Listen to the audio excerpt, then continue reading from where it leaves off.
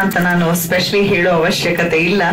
ಪ್ರಜಾಪ್ರಭುತ್ವದ ಮಹತ್ವದ ಒಂದು ವಿಚಾರಗಳ ಕುರಿತಾಗಿ ಒಂದು ಅದ್ಭುತವಾದ ಚಿತ್ರಣವನ್ನ ನೀಡೋದಕ್ಕೆ ಹೊರಟಿರುವಂತಹ ಪ್ರಜಾರಾಜ್ಯ ಸಿನಿಮಾದ ಪ್ರಥಮ ಪತ್ರಿಕಾಗೋಷ್ಠಿ ಇದು. ಈ ಕಾರ್ಯಕ್ರಮಕ್ಕೆ ಆಗಮಿಸಿರುವಂತಹ ನಲ್ಮೆಯ, ನನ್ನೆಲ್ಲ ಮಾಧ್ಯಮ ಮಿತ್ರರಿಗೆ, ಹಿತೈಷಿಗಳಿಗೆ, ಪ್ರೀತಿಯ ಅತಿಥಿಗಳಿಗೆ ಕಾರ್ಯಕ್ರಮಕ್ಕೆ ನನ್ಮೆಯ ಸ್ವಾಗತವನ್ನ ಕೋರ್ತಾ ಇದ್ದೇನೆ. ನಾನು ದಿವ್ಯಾ ಆಲೂರ್. ನಮ್ದೊಂದು ಪ್ರೋಟೋಕಾಲ್ ಅಂತ ಇರುತ್ತೆ. ಮೊದಲಿಗೆ ಎ ವಿ ನೋಡ್ಬಿಟ್ಟು ನಂತರ ಎಲ್ಲರನ್ನ ಮಾತಾಡಿಸ್ತೀವಿ. ಆದ್ರೆ ಇವತ್ತು ಸ್ವಲ್ಪ ಭಿನ್ನ. ಯಾಕಂದ್ರೆ ಸಿನಿಮಾನೇ ಬಹಳ ವಿಭಿನ್ನವಾಗಿದೆ. ವೇದಿಕೆಗೆ ಬರ್ಮಾಡ್ಕೊಳ್ತಾ ಇದ್ದೇನೆ ಅನ್ನದಾತರನ್ನ, ಅಂದ್ರೆ ನಿರ್ಮಾಪಕರನ್ನ. ಇವ್ರು ಬರೀ ನಿರ್ಮಾಣದ ಹೊಣೆಯನ್ನ ಮಾತ್ರ ಹೊತ್ತಿಲ್ಲ. ಬದಲಿಗೆ ಕತೆ ಇವರದ್ದೇ, ಚಿತ್ರಕತೆ ಕೂಡ ಅವರದ್ದೇ, ಜೊತೆಗೆ ಸಂಭಾಷಣೆ, ಅದರೊಟ್ಟಿಗೆ ಒಂದು ಮುಖ್ಯ ಪಾತ್ರದಲ್ಲಿ ಲೀಡ್ ರೋಲ್ನಲ್ಲಿ ಆಕ್ಟ್ ಕೂಡ ಮಾಡಿದ್ದಾರೆ. ಇವ್ರು ಹಾಗಿದ್ರೆ ಸಿನಿಮಾ ಜೊತೆಗೆ ಒಡನಾಟ ಬಹಳ ವರ್ಷಗಳಿಂದ ಇದೆಯಾ ಅನ್ಕೊಂಡ್ರೆ ಇಲ್ಲ. ಅವರು basically he is a doctor neurosurgeon ಅವರು ಹೊಸಕೋಟೆಯವರು ಮೂಲ. ನಮ್ಮ ಡಾಕ್ಟರ್ ವರದರಾಜು ಡಿ ಎನ್ ಅವರನ್ನ ಬಹಳ ಅಭಿಮಾನದಿಂದ ವೇದಿಕೆಗೆ ಬರ್ಮಾಡ್ಕೊಳ್ತಾ ಇದ್ದಾನೆ. ಏನಿದು ಪ್ರಜಾರಾಜ್ಯ ಅಂದ್ರೆ? ಯಾವ್ದ್ರ ಸುತ್ತ ಸುತ್ತುತ್ತೆ ಸಿನಿಮಾ? ತಿಳಿಯೋಣ. ಅವರ ಕಂಠ ಎಲ್ಲರಿಗೂ ಶುಭ ಸಂಜೆ. ಇಲ್ಲಿ ಸೇರಿರ್ತಕ್ಕಂಥ ಹಿರಿಯ ಕಲಾವಿದರಿಗೂ ಹಾಗೂ ಕಿರಿಯ ಕಲಾವಿದರಿಗೂ ಹಾಗೂ ನನ್ನ ಸ್ನೇಹಿತರು ಹಾಗೂ ಮಾಧ್ಯಮ ಮಿತ್ರರಿಗೂ ಶುಭ ಸಂಜೆ ಹಾಗೂ ವಂದನೆಗಳು. ಈಗ ಯಾಕೆ ಇವತ್ತು ಈಗ ಮೊದಲೇ ಹೇಳ್ದಂಗೆ ಮೇಡಮ್ ಹೇಳಿದ್ರು, ಇವತ್ತು ಮೊದಲು ಮಾತಾಡಿದ ಮೇಲೆ ಮತ್ತೆ ಪ್ಲೇ ಮಾಡ್ತೀವಿ ಅಂತ ಅಂದ್ರೆ ಇದು ಕಂಟೆಂಟ್ ಯಾವ ತರ ಇದೆ ಅಂತ ಹೇಳಿದ್ರೆ ಸ್ವಲ್ಪ ವಿಭಿನ್ನವಾಗಿದೆ. ಏನಂದ್ರೆ, ಈ ಕಂಟೆಂಟ್ ಇರತಕ್ಕಂಥದ್ದು ಪ್ರಜಾ, ರಾಜ್ಯ, ಆರ್ಥಿಕ ಸ್ವಾತಂತ್ರ್ಯಕ್ಕಾಗಿ ಹೋರಾಟ. ಏನಪ್ಪಾ ಅಂದ್ರೆ, ನಾನು ಒಂದು ಬೇಗ ಮುಗಿಸ್ತೇನೆ, ಆದ್ರೆ ಸ್ವಲ್ಪ ಯಾಕೆ ಈ ಸಿನಿಮಾ ನನ್ನ ತಲೆಗೆ ಬಂತು, ಯಾಕೆ ನಾನು ಸಿನಿಮಾ ಮಾಡ್ಬೇಕು ಅಂದ್ಕೊಂಡೆ ಅಂತ ಹೇಳಿದ್ರೆ, ಇದಕ್ಕೆ ಇನ್ಸ್ಪಿರೇಷನ್ ಏನಾಗಿದೆ ಅಂತ ಹೇಳಿದ್ರೆ, ನನಗೆ ಸುಮಾರು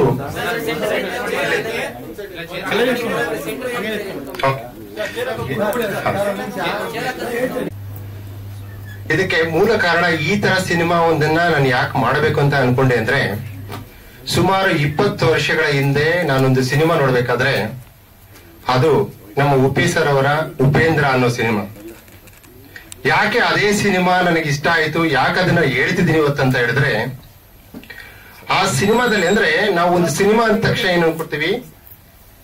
ಒಂದು ಕಾಲ್ಪನಿಕ ಕಥೆಯನ್ನ ನಾವು ಎಂಟರ್ಟೈನ್ಮೆಂಟ್ಗೋಸ್ಕರ ಮಾಡತಕ್ಕಂಥದ್ದು ಮನರಂಜನೆಗೆ ಮಾಡ್ಕೊಳ್ಳೋದು ಅನ್ನುವಂತ ಕಾಲದಲ್ಲಿ ಅವರು ಸ್ವಲ್ಪ ಚೇಂಜಸ್ ತರ್ತಾರೆ.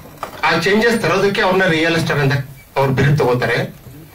ಅದು ಏನಂದ್ರೆ, ಕಾಲ್ಪನಿಕವಷ್ಟೇ ಅಲ್ಲ, ಕೆಲವು ನಿಜ ಸಂಗತಿಗಳನ್ನ ನಾವು ಸಿನಿಮಾ ಮುಖಾಂತರ ಮನರಂಜನೆಯಾಗಿ ತೋರಿಸ್ಬೋದು ಅಂತ ಅವ್ರು ನಮಗ್ ಕಲಿಸ್ಕೊಟ್ರು. ಅವತ್ತು ನನ್ನ ತಲೆ ಹೊಡೆದಿದ್ದು ನಾನು ಯಾಕೆ ಈ ತರ ಯಾವ್ದಾದ್ರು ನಿಜವಾದ ಒಂದು ಕನ್ಸೆಪ್ಟ್ ಇಟ್ಕೊಂಡು ಮೂವಿ ಮಾಡಬಾರ್ದು ಅಂತ ಒಂದ್ ಆಗ ನನಗೆ ಹೊಡೆದಿತ್ತು ಅದೇ ತರ ಆಮೇಲೆ ಏನ್ ಮಾಡ್ತಿದ್ದೆ ಅವ್ರದ್ದು ಮೂವೀಸ್ ನೋಡ್ತಾ ಇದ್ದೆ, ಮತ್ತೆ ಅವರು ಟ್ರೋಲ್ಸ್ ನೋಡ್ತಾ ಇದ್ದೆ, ಎಲ್ಲ ನೋಡ್ಕೊಂಡ್ ಬರ್ತಾ ಇದ್ದೆ. ಸೊ ಬರ್ತಾ ಬರ್ತಾ ಏನಾಯ್ತು ಅಂದ್ರೆ ಈಗ ನನಗೆ ಒಂದು ಮೂರು ವರ್ಷದ ಹಿಂದೆ ಯಾವುದೋ ಒಂದು ಕನ್ಸೆಪ್ಟ್ ಅಂದ್ರೆ ಈಗ ನಮ್ಮ ಯಾವುದೋ ಒಂದು ಇಂಡಿಯನ್ ಕಾನ್ಸ್ಟಿಟ್ಯೂಷನ್ ಅಂತ ಏನಿದೆ ನಮ್ದು, ಅದ್ರ ಮೇಲೆ ಯಾಕೆ ನಾವು ಒಂದು ಸಿನಿಮಾನ ಮಾಡಬಾರ್ದು? ಅಂದ್ರೆ ಈಗ ನಮ್ಗೆಲ್ರಿಗೂ ಗೊತ್ತಿದೆ. ಈಗ ನಮಗಿಂತ ಹೆಚ್ಚಾಗಿ ಮಾಧ್ಯಮದವರಿಗೆ ಗೊತ್ತಿರುತ್ತೆ. ಏನಂತ ಹೇಳಿದ್ರೆ ಇಲ್ಲಿ, ನಾವು ಈಗ ಮೈನ್ ನಾವು ತಗೋಬೇಕಾಗಿರೋದೇನು ಕಾನ್ಸ್ಟಿಟ್ಯೂಷನ್ ಮಾಡಿದ್ದು ಡಾಕ್ಟರ್ ಬಿ ಆರ್ ಅಂಬೇಡ್ಕರ್ ಅವರು ಏನ್ ಮಾಡಿದ್ರು. ಸೊ ಅದ್ರಲ್ಲಿ ನಮ್ದು ಆ ಅಡಿಯಲ್ಲಿ ನಮ್ಗೆ ಏನಿದೆ ಅಲ್ಲಿ ನಮಗೆ right to life and right to education ಅಂತ ಕೊಟ್ಟಿದ್ದಾರೆ. ಫಂಡಮೆಂಟಲ್ ರೈಟ್ಸ್ ಇದೆ. ಆ ಲೈಫ್ ಅಲ್ಲಿ ಏನ್ ಇನ್ಕ್ಲೂಡ್ ಮಾಡಿದಾರೆ ಅಂತ ಹೇಳಿದ್ರೆ, ನೀವು ಆರೋಗ್ಯಕರವಾಗಿ, ಸಂತೋಷವಾಗಿ ಬದುಕುವುದಕ್ಕೆ ನಮ್ಗೆಲ್ಲ ಅನುಕೂಲಗಳನ್ನು ಮಾಡ್ಕೊಡ್ಬೇಕು ಅಂತ ಇದೆ. ಆದ್ರೆ ಆರೋಗ್ಯಕರವಾಗಿರ್ಬೇಕಾದ್ರೆ ನಾವು ರೆಸ್ಪಾನ್ಸಿಬಿಲಿಟಿ ತಗೋತೀವಿ ಕಂಪ್ಲೀಟ್ ಅಂತ ಇಲ್ಲ. ಅದು ಒಂದು ಕ್ವೈರಿ ಆಗಿ ಕುಂತ್ಕೊಂಡಿದೆ ಅಲ್ಲಿ ಆದ್ರೆ ಎಜುಕೇಶನ್ ಕೊಟ್ಟಿದ್ದಾರೆ. ಆರನೇ ಕ್ಲಾಸ್ ಇಂದ ಒಂದು ಹದಿನಾಲ್ಕುವರೆಗೂ, ಹದಿನಾಲ್ಕು ವರ್ಷವರೆಗೂ ಫ್ರೀ ಕೊಡ್ಬೇಕಂತ ಇದೆ ಒಪ್ಕೋತೀನಿ. ಸೊ ಇದು ಎಲ್ತಲ್ಲ ಅದರ ಮಾಡಿಲ್ಲ. ಸೊ ಅದು ಒಂದು ಕನ್ಸೆಪ್ಟ್ ಇಟ್ಕೊಂಡು ಏನ್ ಮಾಡಿದೆ ನಾನೀಗ? ಈಗ ಇರ್ತಕ್ಕಂಥದ್ದು ನಮ್ಮಲ್ಲಿ ಒಂದು ಹೆಲ್ತ್ ಎಜುಕೇಶನ್ ಇನ್ನೊಂದ್ ಕಡೆ ಫುಡ್ ಅಂಡ್ ಶೆಲ್ಟರ್ ಈ ನಾಲ್ಕು ನಮಗೆ ಸಿಗಬೇಕು ಪ್ರತಿಯೊಬ್ಬರಿಗೂ, ಆರೋಗ್ಯಕವಾಗಿ ಇರಬೇಕು ಅನ್ನಂಗಿದ್ರೆ, ಇಲ್ಲ, ಇಲ್ಲಿ ನೋಡಿ ಮೊದಲೇ ಮೆನ್ಷನ್ ಮಾಡ್ತಾ ಇದೀನಿ. ಈ ಸಿನಿಮಾ ಯಾವುದೇ ರೀತಿ, ಯಾವುದೇ ಒಂದು ಪಕ್ಷದ ಓಲೈಕೆಗಾಗ್ಲಿ ಒಂದು ಪಕ್ಷದ ಇದಕ್ಕಾಗಿಲ್ಲ ಇದು ಒಂದು ಸಾಮಾನ್ಯ ಜನಪರವಾಗಿ ಇರ್ತಕ್ಕಂತ ಚಿತ್ರ. ಯಾವುದೇ ಸರ್ಕಾರಗಳಿಗೆ ಅನ್ವಯ ಆಗುವಂತ ಚಿತ್ರ ಅಲ್ಲ. ಇಲ್ಲಿ ಸರ್ಕಾರಗಳೇ ಬೇರೆ, ಅಧಿಕಾರಿ ವರ್ಗದ ಬೇರೆ, ಸಾಮಾನ್ಯ ಜನರೇ ಬೇರೆ. ಇಲ್ಲಿ ಸಾಮಾನ್ಯ ಜನರಿಗೋಸ್ಕರ ಮಾಡಿರ್ತಕ್ಕಂಥ ಚಿತ್ರ ಇದು. ಇಲ್ಲಿ ಎಜುಕೇಶನ್ ಅಂತ ಬಂದ್ರೆ ಬ್ರೀಫ್ ಆಗಿ ಎರಡೆರಡು ನಿಮಿಷದಲ್ಲಿ ಮುಗಿಸ್ಕೋತೀನಿ ಒಂದೊಂದನ್ನ. ಬ್ರೀಫ್ ಆಗಿ ಎಜುಕೇಶನ್ ಎಜುಕೇಶನ್ ಅಂತ ಬಂದ್ರೆ ಈಗ ಏನಾಗ್ತಾ ಇದೆ ಅಂದ್ರೆ ನಾವೆಲ್ಲ ಪ್ರೈವೇಟ್ ಸ್ಕೂಲ್ ಗೌರ್ಮೆಂಟ್ ಸ್ಕೂಲ್ ಅಂತ ಕಂಪೇರ್ ಮಾಡ್ತಾ ಇದೀವಿ ಈಗ ನಾವು ಪ್ರೈವೇಟ್ ಸ್ಕೂಲ್ ಗೌರ್ಮೆಂಟ್ ಸ್ಕೂಲ್ ಅಂತ ಕಂಪೇರ್ ಮಾಡೋದಕ್ಕಿಂತ ಆಕ್ಚುಲಿ ಈಗ ಕಾನ್ಸ್ಟಿಟ್ಯೂಷನ್ ಅಲ್ಲಿ ನಮಗೆ ಫಂಡಮೆಂಟಲ್ ರೈಟ್ಸ್ ಅಂತ ಇರಬೇಕಾದ್ರೆ ನಾವು ಯಾಕೆ when we are paying tax to the government ಅಂದ್ರೆ ನಾವು ಪ್ರತಿಯೊಬ್ಬ ಮನುಷ್ಯ ಬದುಕಿದಾನೆ ಅಂತ ಹೇಳಿದ್ರೆ ಡೈರೆಕ್ಟ್ ಆಗೋ ಇಂಡೈರೆಕ್ಟ್ ಆಗೋ, ನಾವು ದುಡಿಯೋದ್ರಲ್ಲಿ ಐವತ್ತು ಪರ್ಸೆಂಟ್ ಅಷ್ಟು ಗೌರ್ಮೆಂಟ್ ಪಾಲಾಗುತ್ತೆ.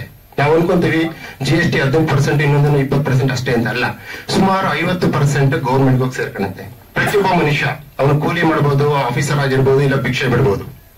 ಅಂದ್ಮೇಲೆ, ಈ ಐವತ್ತು ಪರ್ಸೆಂಟ್ ಅವರು ಕೊಡ್ತಿರ್ಬೇಕಾದ್ರೆ, ಯಾಕೆ ನಾವು ಕಂಪ್ಲೀಟ್ ಎಜುಕೇಶನ್ನ ನೀವು ಗೌರ್ಮೆಂಟ್ ಕಡೆಯಿಂದ ಕೊಡಬೇಕು? ಕ್ವಾಲಿಟಿ ಎಜುಕೇಶನ್ ಅಂತ ಯಾಕೆ ಫೈಟ್ ಮಾಡ್ತಾ ಇಲ್ಲ?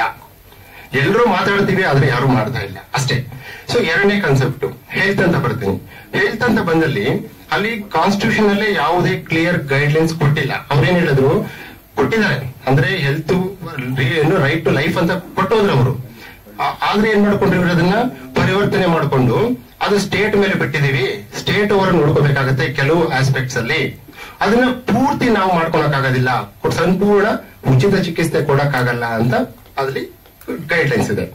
ಸೊ ಈ ತರ ಅಂದ್ಮೇಲೆ ಇಷ್ಟು ಪರ್ಸೆಂಟ್ ನಮ್ಗೆ ಟ್ಯಾಕ್ಸ್ ಕಟ್ತಾ ಇದೀವಿ ಅಂದ್ಮೇಲೆ, ಯಾವ್ದಾದ್ರು ಐದರ್ ಗವರ್ಮೆಂಟ್ ಆದ್ರೂ ರೆಸ್ಪಾನ್ಸಿಬಿಲಿಟಿ ತಗೊಂಡು ಹೆಲ್ತ್ ಅಂಡ್ ಎಜುಕೇಶನ್ ಫ್ರೀ ಮಾಡಬೇಕು. ಇಲ್ಲ, ಅದಾಗ್ಲಿಲ್ಲ ಅಂತ ಹೇಳಿದ್ರೆ, ಈಗ ನಾನು ಏನಲ್ಲಿ ಕನ್ಸೆಪ್ಟ್ ತಗೊಂಡಿದ್ದೀನಿ, ಆರ್ಥಿಕ ಸ್ವಾತಂತ್ರ್ಯಕ್ಕಾಗಿ ಹೋರಾಟ. ಅಂದ್ರೆ ಪ್ರತಿಯೊಬ್ಬರಿಗೂ ಯಾವುದೇ ಇರ್ಬೋದು ಎಜುಕೇಟೆಡ್ ಇರ್ಬೋದು ಅನ್ಎಜುಕೇಟೆಡ್ ಇರ್ಬೋದು, ಅವರವರ ವಿದ್ಯಾರ್ಥಿಗೆ ತಕ್ಕಂತೆ, ಅವರವರ ಕೆಲಸಕ್ಕೆ, ಅವರವರ ರೀಜನಲ್ ಅವರವರ ತಕ್ಕಂತೆ ಏನ್ ಮಾಡ್ಬೇಕು? ಒಂದು ಕೆಲಸ ಉದ್ಯೋಗನ ಸೃಷ್ಟಿ ಮಾಡಬೇಕು. ಆ ಉದ್ಯೋಗನ ಸೃಷ್ಟಿ ಆದ್ರೆ ಏನಾಗುತ್ತೆ? ಅದರಿಂದ ಮತ್ತೆ ಸರ್ಕಾರಕ್ಕೂ ಒಳ್ಳೇದಾಗತ್ತೆ, ದುಡ್ಡು ಬರ್ತದೆ. ಎರಡನೇದು, ಅವರು ಆರ್ಥಿಕವಾಗಿ ಸ್ವಾವಲಂಬಿ ಆದ್ರೆ ಗೌರ್ಮೆಂಟ್ ಮೇಲೆ ಡಿಪೆಂಡೆಂಟ್ ಆಗೋದು ಕಡಿಮೆ ಆಗುತ್ತೆ. ಇಲ್ಲ ಇದನ್ನಾದ್ರೂ ಮಾಡಬೇಕು, ಇಲ್ಲ ಅವ್ರು ಟ್ಯಾಕ್ಸ್ ಕಟ್ಕೊಂಡದಕ್ಕೆ ಅವ್ರು ನ್ಯಾಯಯುತವಾಗಿ ಫ್ರೀ ಆದ್ರೂ ಕೊಡಬೇಕು, ಯಾರಿಗೆ? ಜನಗಳಿಗೆ. ಇಲ್ಲಿ ಎರಡೂ ಸರಿಸಮಾನಾಗಿ ಆಗ್ತಾ ಇಲ್ಲ. ಏನಕ್ಕಂದ್ರೆ, ಇಲ್ಲಿ ಬಹಳ ಗೊಂದಲಗಳು ಕ್ರಿಯೇಟ್ ಆಗಿದೆ. ಮೂರನೇ ವಿಷಯ, ರೈತರದು. ಈಗ ರೈತರು ಅಂದ ತಕ್ಷಣ ಏನ್ ಮಾಡ್ತಾ ಇದೀವಿ? ಓಕೆ ಅವ್ರ ಬಗ್ಗೆ ಹೇಳ್ತೀವಿ ನಾವು. ಅನ್ನದಾತರು, ರೈತರು ಬೇಕು, ಬೆನ್ನೆಲುಬು ಅಂತ ಎಲ್ಲ ಹೇಳ್ತೀವಿ ಹೊರತು. ಆದ್ರೆ ರೈತರಿಗೆ ಕಷ್ಟ ಬಂದಾಗ ಅವ್ರ ಒಬ್ಬನೇ ಬಿಟ್ಬಿಡ್ತೀವಿ ನಾವು. ಯಾಕಂದ್ರೆ ನಾನೊಬ್ಬ ರೈತನ ಮಗ ಆಗಿ ನನ್ಗೆ ಗೊತ್ತಿರೋದು ಏನಂತ ಹಳ್ಳಿಯಲ್ಲಿ ಹುಟ್ಟಿ ಬೆಳೆದು ಅವ್ರು ಬಿಟ್ಬಿಡ್ತಾರೆ ಅವ್ರನ್ನ. ಯಾರು ಹೆಲ್ಪ್ ಮಾಡಕ್ ಹೋಗಲ್ಲ ಅಲ್ಲಿ. ಏನಾಗ್ತಿದೆ? ಇವತ್ತು ರೈತರಿಗೆ ಬೇಕಾಗಿರೋದು ನೂರಾರು, ಸಾವಿರಾರು ಕಾನೂನು ಕಾಯ್ದೆಗಳಲ್ಲ. ಅದೇನೋ ಅವ್ರಿಗೆ ಗೊತ್ತೇ ಇರಲ್ಲ ಪಾಪ ಅಲ್ಲಿ. ಬೆಳಗ್ಗೆ ಸಂಜೆವರೆಗೂ ದುಡಿತಾರೆ, ಸಂಜೆ ಬಂದು ಮಲಗ್ತಾರೆ ಬಿಟ್ರೆ ಏನು ಗೊತ್ತಿರಲ್ಲ ಅವ್ರಿಗೆ. ಅಂತವ್ರಿಗೆ ಏನ್ ಮಾಡ್ಬೇಕು? ಒಳ್ಳೆ ನೀರಾವರಿ ಯೋಜನೆಗಳನ್ನ ಮಾಡ್ಕೊಡ್ಬೇಕು. ಅದು ಬಿಟ್ರೆ ನೆಕ್ಸ್ಟ್ ಥಿಂಗ್ ಏನಂದ್ರೆ, ಅವ್ರು ಬೆಳೆದ ಬೆಳೆಗೆ ಒಂದು ಅಟ್ಲೀಸ್ಟ್ ಎಲ್ಲದಕ್ಕೂ ಆಗಿಲ್ಲ ಅಂದ್ರೆ ಕೆಲವುದಕ್ಕಾದ್ರೂ ಆಗ್ಲಿ ಒಂದು ಬೆಂಬಲ ಬೆಲೆ ಅಂದ್ರೆ ಒಂದು ನಿಗದಿತ ಬೆಲೆ ಅನ್ನೋದನ್ನ ರೂಪಿಸ್ಬೇಕು ಅವರು. ಸೊ ಅದು ಮಾಡ್ಬೇಕು. ನೆಕ್ಸ್ಟ್ ಈಗೇನು ಹಳ್ಳಿಯಲ್ಲಿ ತರಕಾರಿ ಬೆಳೀತಾರೆ. ನೆಕ್ಸ್ಟ್ ಎಷ್ಟೋ ತರಕಾರಿ ಎರಡು ದಿನ ಆದ್ಮೇಲೆ ವೇಸ್ಟ್ ಆಗತ್ತೆ. ಸರ್ಕಾರದಲ್ಲಿ ದುಡ್ಡಿದೆ, ಸರ್ಕಾರ ಟ್ಯಾಕ್ಸ್ ಕಟ್ತಾ ಇದೀವಿ ಅಲ್ಲಿ ಆಗ್ತಾ ಇದೆ ಎಲ್ಲಾನು. ಕೋಲ್ಡ್ ಸ್ಟೋರೇಜ್ ಯಾಕೆ ಮಾಡಬಾರದು? ಎಷ್ಟು ಕಡೆ ಕೋಲ್ಡ್ ಸ್ಟೋರೇಜ್ ಎಷ್ಟು ಡಿಸ್ಟಿಕ್ ಅಲ್ಲಿ ಮಾಡಿದ್ದಾರೆ? ಇಲ್ಲ. ಅವಾಗ ಏನಾಗುತ್ತೆ? ಬೆಳೆದಿರೋ ಸರಕು ವೇಸ್ಟ್ ಆಗ್ತಾ ಇದೆ. ಅವ್ರ ಕೆಲಸನೂ ವೇಸ್ಟ್ ಆಗ್ತಾ ಇದೆ. ಅವ್ರ ಆತ್ಮಹತ್ಯೆ ಮಾಡ್ಕೊಂಡು ಸಾಯ್ತಾ ಇದಾರೆ ಅವ್ರಿಗೆ ಬ್ಯಾಂಕ್ ಲೋನ್ ಕೊಡ್ತಾರೆ ಲೋನ್ ಕಟ್ಟಕ್ಕಾಗಲ್ಲ ಅಂತ ಸಾಯ್ತಾ ಇದಾರೆ ಈಗ ಅವ್ರ ಕರೆಕ್ಟ್ ನೀರಿನ ವ್ಯವಸ್ಥೆ ಮಾಡಿ, ಒಂದು ಬೆಲೆಗಳು ಇದ್ರೆ ಅವ್ರಿಗೆ, ಅವ್ರು ಯಾಕೆ ಸಾಯ್ಬೇಕು? ಆ ಪರಿಸ್ಥಿತಿನ ಬರೋದಿಲ್ಲ. ಸೊ ಈ ನಿಟ್ಟಿನಲ್ಲಿ ನೋಡಿದ್ರೆ ಕಾನೂನು ಕಾಯ್ದೆಗಳಿಂದ ಅವ್ರಿಗೆ ನೀರಾವರಿ ಯೋಜನೆಗಳನ್ನ ಮಾಡಿಕೊಡ್ಲಿ, ಅವ್ರಿಗೆ ಒಂದು ಬೆಲೆಯನ್ನ ಸರಿಯಾಗಿ ಮಾಡಿಕೊಡ್ಲಿ ಅನ್ನೋದನ್ನ ಈ ಸಿನಿಮಾ ಮುಖಾಂತರ ನಾನು ತಿಳ್ಸಕ್ ಟ್ರೈ ಮಾಡಿದ್ದೀನಿ. ಮೂರನೇದು, ಕಾರ್ಮಿಕರು. ಈಗ ಉದ್ಯೋಗಾವಕಾಶ. ನಾವು ಉದ್ಯೋಗಾವಕಾಶ ಒಂದನ್ನ ನಾವು ಕರೆಕ್ಟ್ ಆಗಿ ಮಾಡಿಕೊಟ್ಬಿಟ್ರೆ, ಈಗ ಅವರಿಗೆ ಅಲ್ಲಿ ಆರ್ಥಿಕ ಸ್ವತಂತ್ರ ಅನ್ನೋದನ್ನ ಜನಗಳಿಗೆ ಕೊಟ್ರೆ, ಅವರಿಂದ ಸರ್ಕಾರದಿಂದ ಅವ್ರ ಎಕ್ಸ್ಪೆಕ್ಟೇಷನ್ಸ್ ಕಡಿಮೆ ಆಗುತ್ತೆ. ಅವರು ಅವರ ಸ್ವಂತಕ್ಕೆ ಅವ್ರು ಬದುಕೋ ತರ ಅವ್ರು ಆಗ್ತಾರೆ. ಸೊ ಡಿಪೆಂಡೆನ್ಸಿ ಯಾವಾಗ ಹೋಗುತ್ತೆ? ಅದೇ ಸರ್ಕಾರದಲ್ಲಿರೋ ದುಡ್ಡನ್ನ ನಮ್ಮ ಬೇರೆ ಇನ್ಫ್ರಾಸ್ಟ್ರಕ್ಚರ್ ಡೆವಲಪ್ಮೆಂಟ್ಗೆ ಇಟ್ಕೋಬಹುದು ಅವರು. ಈಗ ಏನಾಗ್ತಾ ಇದೆ ಅಂತ ಹೇಳಿದ್ರೆ ಈಗ ಅದನ್ನ ನಾವು ಎಷ್ಟು ಸ್ಕೀಮ್ಗಳು ಕೊಡ್ತೀವಿ ಅಂತ ಮಾಡ್ಕೊಂಡು ಹೋಗ್ತಾ ಇರತ್ತೆ, ಇದ್ರ ಮೇಜರ್ ಬಿಟ್ಬಿಟ್ಟು ಅಷ್ಟೊಂದು ದುಡ್ಡು ಆ ಕಡೆ ಈ ಕಡೆ ಸೋರಿಕೆ ಆಗ್ತಾ ಇರತ್ತೆ. ಸರ್ಕಾರ ದುಡ್ಡು ಸೋರಿಕೆ ಆಗ್ತಾ ಇರತ್ತೆ. ಸೊ ಸ್ಕೀಮ್ಗಳನ್ನ ಕಡಿಮೆ ಮಾಡಬೇಕು. ಒಂದು ಉದ್ಯೋಗ ಅವಕಾಶ ಕಲ್ಸಿಕೊಡ್ಬೇಕು ಹೆಲ್ತ್ ಅಂಡ್ ಎಜುಕೇಶನ್ ಈಗ ಹೆಲ್ತ್ ಎಜುಕೇಶನ್ ಬಗ್ಗೆ ಫ್ರೀ ಮಾಡಿದರೆ ಅದಕ್ಕೆ ನಾವು ಜನ ಫೈಟ್ ಮಾಡ್ಬೇಕು ಅಟ್ಲೀಸ್ಟ್ ಸ್ವಲ್ಪ ಮಟ್ಟಕ್ಕಾದ್ರೂ ಹೆಲ್ತ್ ಏನಿದೆ ಅಂದ್ರೆ, ಪೂರ್ತಿ ಮಾಡಕ್ಕಾಗಲ್ಲ. ಆದ್ರೆ, ನಾನು ಈ ಕನ್ಸೆಪ್ಟ್ ಇಲ್ಲಿ ಯಾಕೆ ಯೂಸ್ ಮಾಡ್ತಾ ಇದ್ದೀನಿ ಅಂದ್ರೆ ಇವತ್ತು ಬಾರ್ಗೇನ್ ಮಾಡಬಹುದು ಇವತ್ತು ಯಾವ ಸಾಮಾನ್ಯ ಜನ ಸಾವಿರ ರೂಪಾಯಿ, ಎರಡ್ ಸಾವಿರ ರೂಪಾಯಿ ಕೊಟ್ಟು ಏನೋ ತಗೊಂಡು ಓಟ್ ಹಾಕ್ತಾ ಇದಾರೆ ಅದೇ ಜನ, ನನಗೆ ಸಾವಿರ, ಎರಡ್ ಸಾವಿರ ರೂಪಾಯಿ ಬೇಡಪ್ಪ ನಿಮ್ದು, ದುಡ್ಡು ಬೇಕಾಗಿಲ್ಲ. ನನಗೆ ಹೆಲ್ತ್ ಕಂಪ್ಲೀಟ್ ಫ್ರೀ ಕೊಡು. ಯಾವ ಸರ್ಕಾರ ಅದಕ್ಕೆ ಬದುಕು ನಿಂತ್ಕೊಳ್ಳುತ್ತೆ? ಹೆಲ್ತ್ ನಮ್ ಕಂಪ್ಲೀಟ್ ಯಾಕೆ ಟೇಕ್ ಓವರ್ ಮಾಡ್ತದೆ ಇದು ಬಾರ್ಗೇನ್ ಯಾಕಂದ್ರೆ ಕ್ಲಾಸ್ ಅಲ್ಲಿ ಇಲ್ಲ ಈಗ. ಹೊಸದಾಗಿ ಆರ್ಟಿಕಲ್ ಮಾಡಕ್ ಆಗಲ್ಲ ಇಮಿಡಿಯೇಟ್ ಆಗಿ. ಅವಾಗ ಬಾರ್ಗೇನ್ ಹೋಗಿ ಬೇರೆ ತರ ಸೊ ಇದನ್ನ ಜನಕ್ಕೆ ನಾಲ್ಕು ಜನಕ್ಕೆ ತುಂಬಿದ್ರೆ, ನಾಲ್ಕು ಜನಕ್ಕೆ ಅದು ಅಟ್ಲೀಸ್ಟ್ ಇವತ್ತು ಒಬ್ಬರಿಗೋ ಇಬ್ಬರಿಗೋ ಗೊತ್ತಾಗತ್ತೆ. ನಾಳೆ ದಿನ ಒಬ್ಬರಿಂದ ಒಬ್ಬರಿಗೊಬ್ಬರಿಂದ ಅಡೆ ಆಡುತ್ತೆ ಅಂತ ಒಂದೇ ಒಂದು ಉದ್ದೇಶ ಇಟ್ಕೊಂಡು ಇದೊಂದು ಸಿನಿಮಾ ಮಾಡಿದ್ದು. ಇದನ್ನ ಮೊದಲನೇ ಸಾರಿ ಇನ್ನೊಂದು ವಿಷಯ ಹೇಳಕ್ ಇಷ್ಟಪಡ್ತೀನಿ ಅವತ್ತು. ಮೊದಲನೇ ಸಾರಿ ನಾವು ಬರಣ ಸರ್ ಹತ್ರ ಮಾತಾಡದೆ ಈ ಕನ್ಸೆಪ್ಟ್ನ ಅವ್ರ ಹತ್ರ ಹೇಳ್ದೆ, ಅವ್ರ ಮನೆಗೆ ಹೋಗ್ಬಿಟ್ಟು. ಸೊ ಹೇಳಿದ ದಿವಸ ಅವ್ರನ್ನ ಮಾತಾಡಿದ್ರು. ಏನಂತ ಹೇಳಿದ್ರೆ, ಆ ಮಾತು ನನಗೆ ಇನ್ನೂ ಅವತ್ತು ಉಪೇಂದ್ರ ಸರ್ ಜೊತೆ ಮಾತ್ರ ಕೇಳಿದಲ್ಲ ಇಂತೆಲ್ಲ ಮೂವಿ ನೋಡಿದಲ್ಲಿ. ಅದ್ ಮತ್ತೆ ನನಗೆ ಇನಿಷಿಯೇಟಿವ್ ಆಯ್ತಲ್ಲ ಮುಗಿಸ್ಲೇಬೇಕು ಈ ಸಿನಿಮಾ ಅಂತ. ಏನಂದ್ರೆ ಈಗ ನೀನ್ ಸಿನಿಮಾ ಮಾಡ್ತಾ ಇದೀಯಾ? ಗೆಲ್ಲುತ್ತೆ ಅಂತ ಹೇಳಕ್ಕಾಗಲ್ಲ. ಗೆಲ್ಲುತ್ತೆ ಅಂತ ಅನ್ಕೊಂಡ್ ಮಾಡಕ್ ಹೋಗ್ಬೇಡ. ಅಟ್ಲೀಸ್ಟ್ ಎಲ್ಲ ಬದಲಾಗ್ತಾರೆ ಅಂತ ಮಾಡಕ್ ಹೋಗ್ಬೇಡ. ನಾಲ್ಕು ಜನಕ್ಕೆ ಒಂದು ಕ್ವಶನ್ ಆಗಿ ಪರಿವರ್ತನೆ ಆಗುತ್ತೆ ಅಂತ ಅಷ್ಟೇ ಮಾಡು. ಅದೇ ನಿನಗೆ ಸಕ್ಸಸ್ ಅಂತ. ಸೊ ಅವಾಗ ನನ್ಗೆ ಅನ್ಸಿದ್ದು ಏನಂತ ಹೇಳಿದ್ರೆ ದಟ್ಸ್ ಅ ರೈಟ್ ವರ್ಡ್ ಬೇರೆ ಯಾರ ಜೊತೆ ಹೋಗಿದ್ರೆ ಹಂಗಾಗತ್ತೆ, ಹಿಂಗಾಗತ್ತೆ ಇದಾಗ್ಬಿಡ್ತೀವಿ ಅನ್ನೋದೆಲ್ಲ ಬೇಕಿರೋದಲ್ಲಿ. ಎಕ್ಸಾಕ್ಟ್ಲಿ ವಾಸ್ತವಕ್ಕೆ ತಕ್ಕಂತೆ ನಮ್ಗೆ ಏನ್ ಬೇಕು ಅದು. ನಾನು ಅದೇ ರೈಟ್ ಪಾತ್ರ ಅದೇ ನನ್ನ ಮನಸ್ಸಲ್ಲಿದ್ದು ಅದೇ ಅವ್ರು ಹೇಳಿದ್ರು. ನನಗೆ ಹೇಗಿತ್ತು ಅಂತ ಹೇಳಿದ್ರೆ, ಮುಗಿಸ್ಲೇಬೇಕು ಅಂತ ಅನ್ಕೊಂಡೆ. ಅದೇ ನಿಟ್ಟಿನಲ್ಲಿ ಇವತ್ತು ಸಿನಿಮಾ ಪೂರ್ತಿ ಮುಗಿದಿದೆ. ಸಿನಿಮಾ ಮುಗಿಯೋವರೆಗೂ ಯಾವುದೇ ರೀತಿಯಲ್ಲೂ ನಾವು ಒಂದು ಪ್ರೆಸ್ ಮೀಟ್ ಕೊಡ್ಲಿಲ್ಲ. ಇದೇ ಫಸ್ಟ್ ಪ್ರೆಸ್ ಮೀಟ್ ಕೊಡ್ತಿರೋದು ನಾವು. ಈಗ ಅದೇ ರೀತಿ ಈಗ audio launch probably next week ಇನ್ನೊಂದು ಹತ್ತು ದಿವಸದೊಳಗೆ ಆಡಿಯೋ ಲಾಂಚ್ ಇಟ್ಕೋತೀವಿ ಅದನ್ನ. ಸೊ ಇಷ್ಟೊತ್ತು ನಾವು ಮಾತಾಡಕ್ಕೆ ಅವಕಾಶ ಕೊಟ್ಟಿದ್ದಕ್ಕೆ ತುಂಬಾ ಧನ್ಯವಾದ. ಅದ್ರ ಜೊತೆಗೆ ಇನ್ನೊಂದು ಮೆನ್ಷನ್ ಮಾಡ್ಬೇಕು ಇವತ್ತು ನಾನು. ಇವತ್ತು ನಮ್ಮ ಬೇರೆವರೆಗೆಲ್ಲ ಇಲ್ಲಿ ನೆರೆದಿರೋರಿಗೆಲ್ಲ ಇದು ಒಂದು ಪ್ರೆಸ್ ಮೀಟ್ ಇರ್ಬೋದು. ಆದ್ರೆ ನನ್ನ ಮನಸ್ಸಿಗೆ ಇವತ್ತು ಒಂದು ಸಕ್ಸಸ್ ಮೀಟ್ ಅಂತ ಹೇಳ್ಬೋದು. ಏನಕ್ಕಂದ್ರೆ, ನನಗೆ ಈಗ ಒಂದು ಫಸ್ಟ್ ಸಿನಿಮಾ ತಗೊಂಡು ಮಾಡಬೇಕಾದ್ರೆ ಡಿಫ್ರೆಂಟ್ ಹಂತಗಳಲ್ಲಿ ಡೈರೆಕ್ಷನ್ ಟೀಮು ಟೆಕ್ನಿಕಲ್ ಟೀಮು ಆರ್ಟಿಸ್ಟ್ಗಳು ಈಗೆಲ್ಲ ಏನ್ ಯೂನಿಟ್ ಇದಾರೆ. ಸೊ ಪ್ರತಿಯೊಬ್ಬರು ಅಲ್ಲೆಲ್ಲಿ ಕೋಆಪರೇಟ್ ಮಾಡ್ಕೊಂಡು ಅವ್ರು ಯಾವ ರೀತಿ ಜೊತೆಲಿ ಇದ್ಕೊಂಡು ಏನ್ ಬಂದ್ರಲ್ವಾ? ಸೊ ಅವ್ರಿಗೆ ನಾನು ಧನ್ಯವಾದ ಹೇಳಕ್ಕೆ ಇಷ್ಟಪಡ್ತೀನಿ. ಸೊ ಇವತ್ತು ಒಟ್ಟಾರೆ ಒಂದು ಸಿನಿಮಾ ಕಂಪ್ಲೀಟ್ ಆಗಿ ಕುಂತಿದೆ ಅನ್ನೋದೇ ನನಗೆ ಒಂದು ಸಕ್ಸಸ್ ಅಂತ ನಾನು ಹೇಳ್ಕೊಂತೀನಿ thank you so much so I a doctor neurosurgeon sir Upendra cinema ಪ್ರೇರೇಪಣೆನ ಅಥವಾ ಕೊಟ್ಟಿರೋ ಪಕ್ಷ ಪ್ರೇರೇಪಣೆ ನೋ ಅದು ಸಿನಿಮಾ ಬಂದಲ್ಲಿ ಅವ್ರದ್ದು ನನಗೆ ಅನ್ಸಿದ್ದು ಸಿನಿಮಾ ಮಾಡ್ಬೇಕು ರಿಯಾಲಿಟಿ ಆಮೇಲೆ ಕೆಲವೊಂದು ಥಿಂಗ್ಸ್ ಎಲ್ಲ ಏನಾಯ್ತು ಅಂತ ಹೇಳಿದ್ರೆ ಈಗ ರಿಯಾಲಿಟಿ ಏನಿದೆ? ಯಾಕಂದ್ರೆ ಇಷ್ಟೊತ್ತು ಹೇಳಿದ ಅಂಶಗಳೆಲ್ಲ ಅವ್ರ ಪಾರ್ಟಿಯಲ್ಲಿ ಇದೆ. ಅಲ್ಲ ಇದು ಅವ್ರ ಪಾರ್ಟಿಯಲ್ಲೇ ಇದೆ ಅಂತಲ್ಲ ಎಲ್ಲಾ ಪಾರ್ಟೀಸಲ್ಲೂ ಇದೆ ಇದು. ಎಲ್ಲಾ ಪಾರ್ಟೀಸಲ್ಲೂ ಅಲ್ಲ, ಎಲ್ಲಾ ಪಾರ್ಟೀಸಲ್ಲೂ ಅದೇ ಥಿಂಗ್ಸ್ ಇಟ್ಕೊಂಡೆ ಬರ್ತಾರೆ ಚೇಂಜ್ ಹಾಕೊಂಡು ಹೋಗ್ತಾ ಇರ್ತಾರೆ. ನಾನು ಅದೇ ನಿಮ್ಗೆ ಹೇಳಿದ್ದೀಗ. ಕೆಲವು ಥಿಂಗ್ಸ್ ಎಲ್ಲ ಏನಿತ್ತು ಅದನ್ನ ನೋಡ್ಬೇಕು ನನಗೆ ಮೋಟಿವೇಶನ್ ಅನಿಸ್ತು ಇದನ್ನ ನಾವು ಒಬ್ಬೊಬ್ಬರೇ ಮಾತಾಡೋದಕ್ಕಿಂತ ಒಂದು ಸಿನಿಮಾ ಯಾಕೆ ಬರಬಾರ್ದು? ಸಿನಿಮಾ ತರ ಯಾಕೆ ತೋರಿಸಬಾರ್ದು ಅದನ್ನ? ಈಗ ಏನಿದೆ ಇದು ಅದನ್ನ ಒಂದು ಸಿನಿಮಾಟೋಗ್ರಫಿಯಲ್ಲಿ ಮಾಡಿಕೊಂಡು ಸ್ಟೋರಿ ಬರ್ಕೊಂಡು ಈಗ ಹೆಂಗಿದೆ ಅಂದ್ರೆ ನೋಡೋದಕ್ಕೆ ಡಾಕ್ಯುಮೆಂಟ್ರಿ ಅಂತ ಅನ್ಸಿದ್ರು ಕತೆ ಕೇಳೋದಕ್ಕೆ ಅದನ್ನ ನೋಡಿದ್ರೆ ಅದು ಕಮರ್ಷಿಯಲ್ ತರ ಆಸ್ಪೆಕ್ಟ್ ಇದೆ ಒಳಗಡೆ. ಕನ್ವಿನ್ಸ್ ಆಗ್ಬೇಕು ಜನ. ಒಂದು ಸಿನಿಮಾ ರೂಪದಲ್ಲಿ. ಅಲ್ಲ ಈಗ ಪ್ರಶ್ನೋತ್ತರ ಮಾಡೋಕ್ ಮುಂಚೆ ಸ್ವಲ್ಪ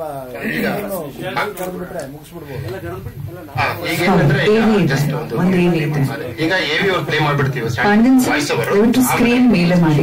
ಉದ್ಯೋಗ ಸೃಷ್ಟಿ ಮಾಡಿಕೊಳ್ಳುತ್ತಿದ್ದೇವೆ.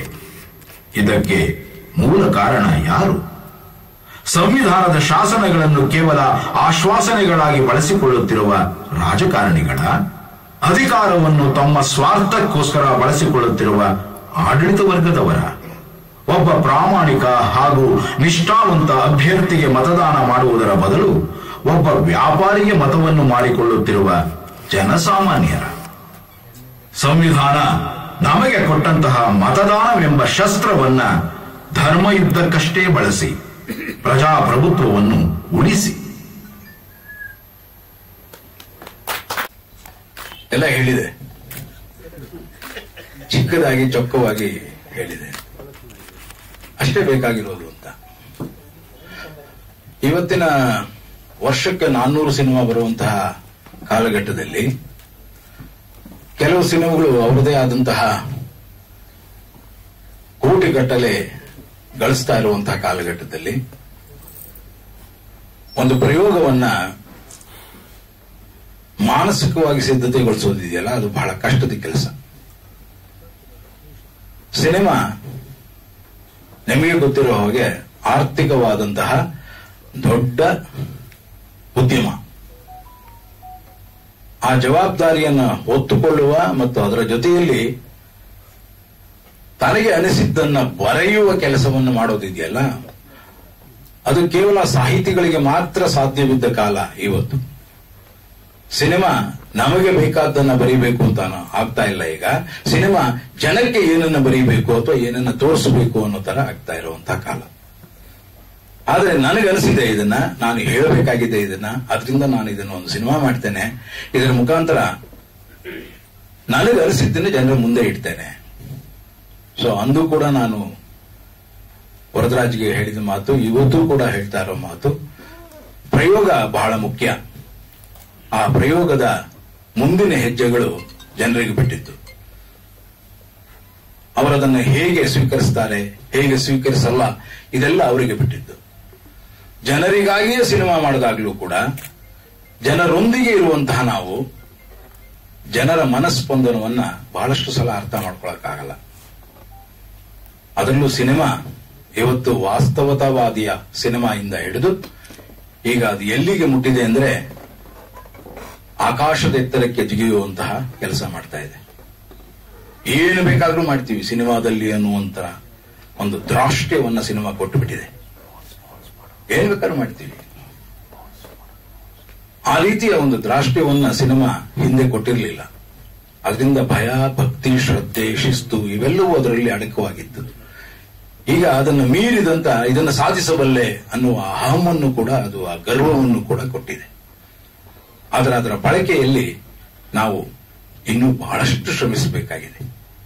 ಪ್ರಜಾರಾಜ್ಯ ನಿಜವಾಗಿಯೂ ಭಾರತಕ್ಕೆ ಬೇಕಾಗಿರುವ ಕೆಲವು ಅಂಶಗಳನ್ನಾದರೂ ಅದು ಮುಂದಿಡುತ್ತೆ ಅನ್ನೋದು.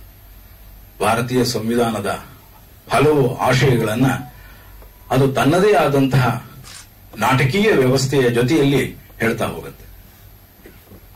ಎಲ್ಲವನ್ನೂ ಹೇಳೋದಕ್ಕಾಗಲ್ಲ, ಆದರೆ ಕೆಲವನ್ನಾದರೂ ಹೇಳಬಹುದು ಅನ್ನೋದು. ನಾನು ಯಾವಾಗಲೂ ಸಿನಿಮಾವನ್ನ ಪ್ರತಿ ಸಿನಿಮಾವನ್ನ ಒಂದು ಪ್ರತಿ ಪ್ರಯೋಗ ಅಂತ ಕರೀತೇನೆ.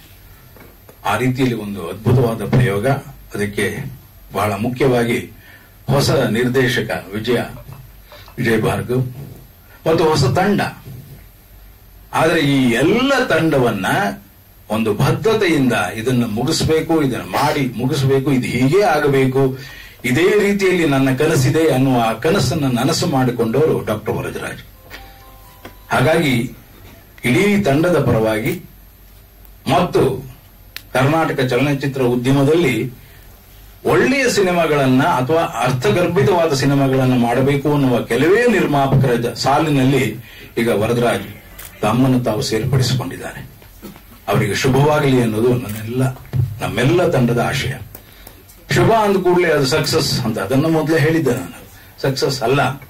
ಸಕ್ಸಸ್ ಅನ್ನೋದು ಕೇವಲ ದುಡ್ಡಿನಿಂದ ಅಳೆಯುವ ಮಾಪನವಾಗಿರುವ ಯುವಕನ ಕಾಲಘಟ್ಟ ಅದು. ಎಲ್ಲರೂ ಅದನ್ನು ಎಷ್ಟು ಕೋಟಿ ಬಂತು, ಎಷ್ಟು ಕೋಟಿ ಹೋಯ್ತು, ಇದ್ರ ಬಗ್ಗೆನೇ ಮಾತಾಡ್ತಾ ಇದ್ದೀವಿ. ಆದರೆ ಯಾವ ಚಿತ್ರ, ಯಾವ ಸಂದೇಶವನ್ನ, ಯಾವ ಮನರಂಜನೆಯನ್ನ, ಯಾವ ಮನೋಲ್ಲಾಸವನ್ನ, ಯಾವ ಮನೋವಿಕಾಸವನ್ನ ಅದು ಕೊಟ್ಟಿದೆ ಅನ್ನೋದನ್ನು ಮಾತ್ರ ನಾವು ಸರಿಯಾಗಿ ಯೋಚನೆ ಮಾಡ್ತಾ ಇಲ್ಲ.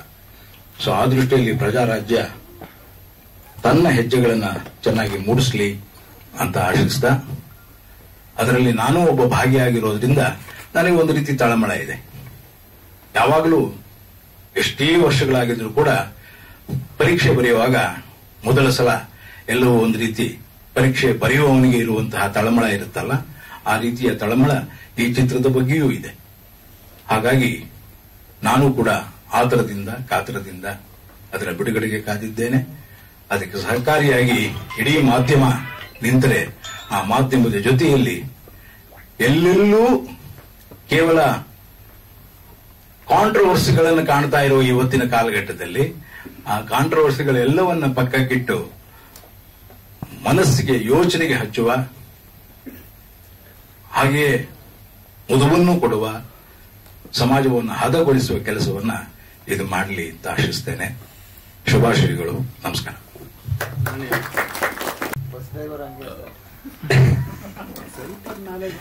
ಎಲ್ರಿಗೂ ನಮಸ್ಕಾರ.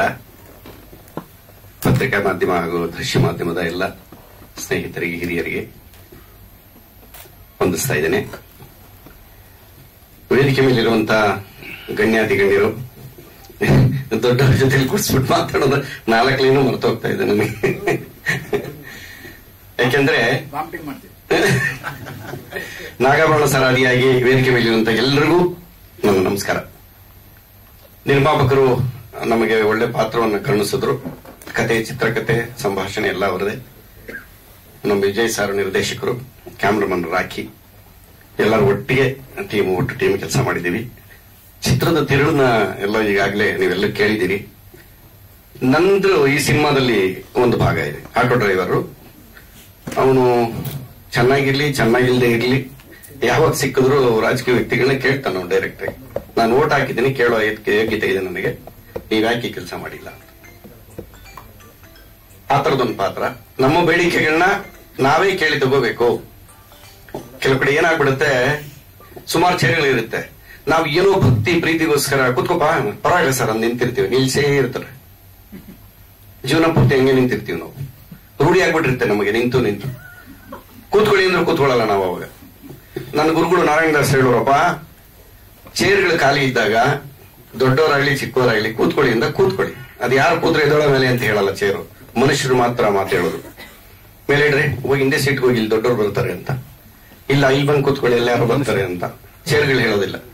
ಇದನ್ನ ನಾವು, ನಾನು ಯಾವ ರೀತಿ ಹೇಳ್ತಾ ಇದ್ದೀನಿ ಅಂದ್ರೆ ಮತಾಕೊಂದು ವಿಚಾರದಲ್ಲಿ ಇದನ್ನ ಹೇಳ್ತಾ ಇದ್ದೀನಿ. ರೂಢಿ ಮಾಡ್ಕೊಂಡ್ಬಿಟ್ಟಿದ್ದೀವಿ. ಚೇರ್ಗಳು ಖಾಲಿ ಇದ್ರೆ ಕೂತ್ಕೊಳ್ಳಲ್ಲ. ನಿಂತಿರೋದು. ಹಾಗಾಗಿ ನಮ್ಮನ್ನು ಎಷ್ಟು ಶೋಷಣೆ ನಡೀತಾ ಇದೆ, ನಾಗವರ್ಣ ಸರ್ ತುಂಬಾ ಶೀರ್ಷಿಕೆಯಲ್ಲಿ ಹೇಳಿರುವಂತ ಪದಗಳು, ಬೇರೆ ಏನು ಅದ್ರ ಮುಂದೆ ಲೈನ್ಗಳು ಹೇಳಕ್ಕಾಗಲ್ಲ ನಾವು. ಅಷ್ಟು ಚೆನ್ನಾಗಿದೆ, ಮುಚ್ಚಟವಾಗಿ ಎಂಟು ಲೈನು ಅಷ್ಟು ಚೆನ್ನಾಗಿ ಮಾಡಿದ್ದಾರೆ. ಅಷ್ಟೇ, ಅದನ್ನ ಆ ನಿಟ್ಟಿನಲ್ಲಿ ನಾವು ನನ್ನ ಬೇಡಿಕೆ, ನಮ್ಮ ಬೇಡಿಕೆ ಏನಿದೆ, ನಮ್ಮ ವರ್ಗದ ಆಟೋ ಡ್ರೈವರ್ಗಳು ನಂದು ಮಾತ್ರ ನಾನು ಕೇಳ್ತೀನಿ, ಬೇರೆ ಸುದ್ದಿ ನಾನು ಬೇಡ ಅಂತ ಹೇಳ್ಕೊಂಡ್ಬಿಡ್ತೀನಿ ನಾನು. ಯಾರನ್ನ ಸಿಕ್ಕಿದ್ರೆ ಸಿನಿಮಾದಲ್ಲಿ, ಮುಂದಿನ ಪರಿಣಾಮಗಳೇನು ಅಂತ ಹೇಳಿ ಸಿನಿಮಾ ನೋಡ್ಬೇಕು ನೀವು. ಇಷ್ಟು ವಿಷಯ ಇನ್ನು ಮಿಕ್ಕಿದೆಲ್ಲ ವರದಾ ಸರ್ ಹೇಳಿದ್ದಾರೆ. ಮತ್ತೊಮ್ಮೆ ತಮ್ಮನ್ನ ಕೇಳ್ಕೊತೀನಿ. ಎಲ್ಲಾ ಸಿನಿಮಾಗಳಿಗೂ ನೀವು ಆಶೀರ್ವಾದ ಮಾಡೇ ಮಾಡ್ತೀರಿ, ಪ್ರೋತ್ಸಾಹ ಇದ್ದೇ ಇರುತ್ತೆ. ಇದು ಪ್ರಜೆಗಳಿಗಾಗಿ ಮಾಡಿರುವಂತ ಸಿನಿಮಾ, ಬೇಡಿಕೆಗಳು ಏನೇನಿದೆ ಅಂತ ಹೇಳಿ. ಇನ್ನೆಷ್ಟು ವರ್ಷ ಹೋದ್ರು ನಾವು ಕೇಳ್ಕೊತಾನೆ ಇರ್ತೀವಿ, ಸಿಗೋದು ಬಿಡೋದು ಬೇರೆ ಪ್ರಶ್ನೆ. ತಿರುಪತಿ ಹೋದಾಗೆಲ್ಲ ಕೇಳ್ತೀವಿ, ಕಾಪಾಡಪ್ಪ. ನನ್ನ ಮಗಳು ಮದುವೆ ಮಾಡಿಸೋದು ಹಾಗೆ ಕೇಳ್ತಾನೆ ಇರಬೇಕು ನಾವು. ಎಲೆಕ್ಷನ್ ಟೈಮಲ್ಲಿ ನಾವು ಎಷ್ಟು ಯಾಮಾರ್ತೀವಿ ನಿನಗೆ ಕೊಟ್ಟಿರುವಂತ ಅಂತ ಮುಚ್ಚಟವಾದ ಒಂದು, ಒಂದೇ ಒಂದು ಓಟು ಅಂತ ಇರ್ಬೋದು. ಅದು ಬರವಣಿಗೆ ಚೇಂಜ್ ಆದ್ರೆ ಓಟು ಆಗುತ್ತೆ. ಓಟು ಅಂದ್ರೆ ಎಲ್ಲ ಅಂತ ಹಳ್ಳಿಲಿ. ಓಟು ಕೊಡ್ತೀನಿ ಬಾರೋ ಅಂತ ಮಕ್ಕಳು ಕರೀತಾರಲ್ಲ, ಎಲ್ಲ ಕೊಡ್ತೀನಿ ಬಾ ಅಂತ. ಅದು ಎಲ್ಲವೂ ನಾವು ಆಗಿದ್ದೀವಿ ಅದ್ರ ನಮ್ಮ ಬಳಕೆ ಚೆನ್ನಾಗಿಲ್ಲ. ಅದು ಈ ಚಿತ್ರದಲ್ಲಿ ತುಂಬಾ ಚೆನ್ನಾಗಿ ಹೇಳಿದ್ದಾರೆ. ಚಿತ್ರಕ್ಕೆ ಮತ್ತು ನಿರ್ಮಾಪಕರಿಗೆ ಇಡೀ ತಂಡಕ್ಕೆ ಒಳ್ಳೇದಾಗಬೇಕು. ನಿಮ್ಮೆಲ್ಲರ ಸಹಕಾರ ಸಪೋರ್ಟ್ ನಮ್ಗಿರ್ಲಿ ಅಂತ ಕೇಳ್ಕೊತೀನಿ. ನಮಸ್ಕಾರ. ನಿರ್ದೇಶಕರು ಆಮೇಲೆ ಬರವಣಿಗೆಯಲ್ಲಿ ನಿರ್ಮಾಪಕರು ಅದನ್ನ ಈಗ ಬರೆದಿದ್ದಾರೆ. ಮುಂದಿನ ದಿನಗಳಲ್ಲಿ ಒಬ್ಬ ವ್ಯಕ್ತಿನ ನಾವು ಆರಿಸಿರೋ ವ್ಯಕ್ತಿನ ರೋಡಲ್ಲಿ ನಿಲ್ಸ್ಕೊಂಡು ಕೊಡ್ಬಟ್ಟಿ ಹಿಡ್ಕೊಂಡು ಕೇಳುವಂತ ದಿನಗಳು ಬಂದ್ಬಿಡ್ಬೋದು. ಈಗಾಗಲೇ ಹತ್ತತ್ರಕ್ಕೆ ಬರ್ತಾ ಇದೆ ಇಲ್ಲ ಯಾರು ಹೆದರ್ತಿಲ್ಲ ಜನ ಈಗ. ಓಟ್ ಹಾಕಿಲ್ವಾ ಅನ್ನೋ ತರ ನಾನು ಇದನ್ನ ಕಾಮಿಡಿ ಸ್ಕಿಟ್ಗಳೆಲ್ಲ ತೋರಿಸ್ತಾ ಇದ್ದೆ. ಅಲ್ಲ? ನಿಮ್ಮ ಲೈನಲ್ಲೇ ನಾನು ಇದ್ದೀನಿ ನಾನು. ಏನು ಮಾಡಕ್ಕಾಗಲ್ಲ. ನೋಡೋಣ. ಈಗ ಅದೇನಾಗ್ಬಿಡುತ್ತೆ, ಹದಿನೈದು ಕೋಗಿಲೆಗಳು ಒಂದು ನೂರು ಕಾಗೆ ಜೊತೆಲಿದ್ರೆ, ಕಾಣಲ್ಲ, ಎರಡು ಒಂದೇ ತರ ಇರ್ತವೆ ಕಾಗೆ ಕೋಗಿಲೆ.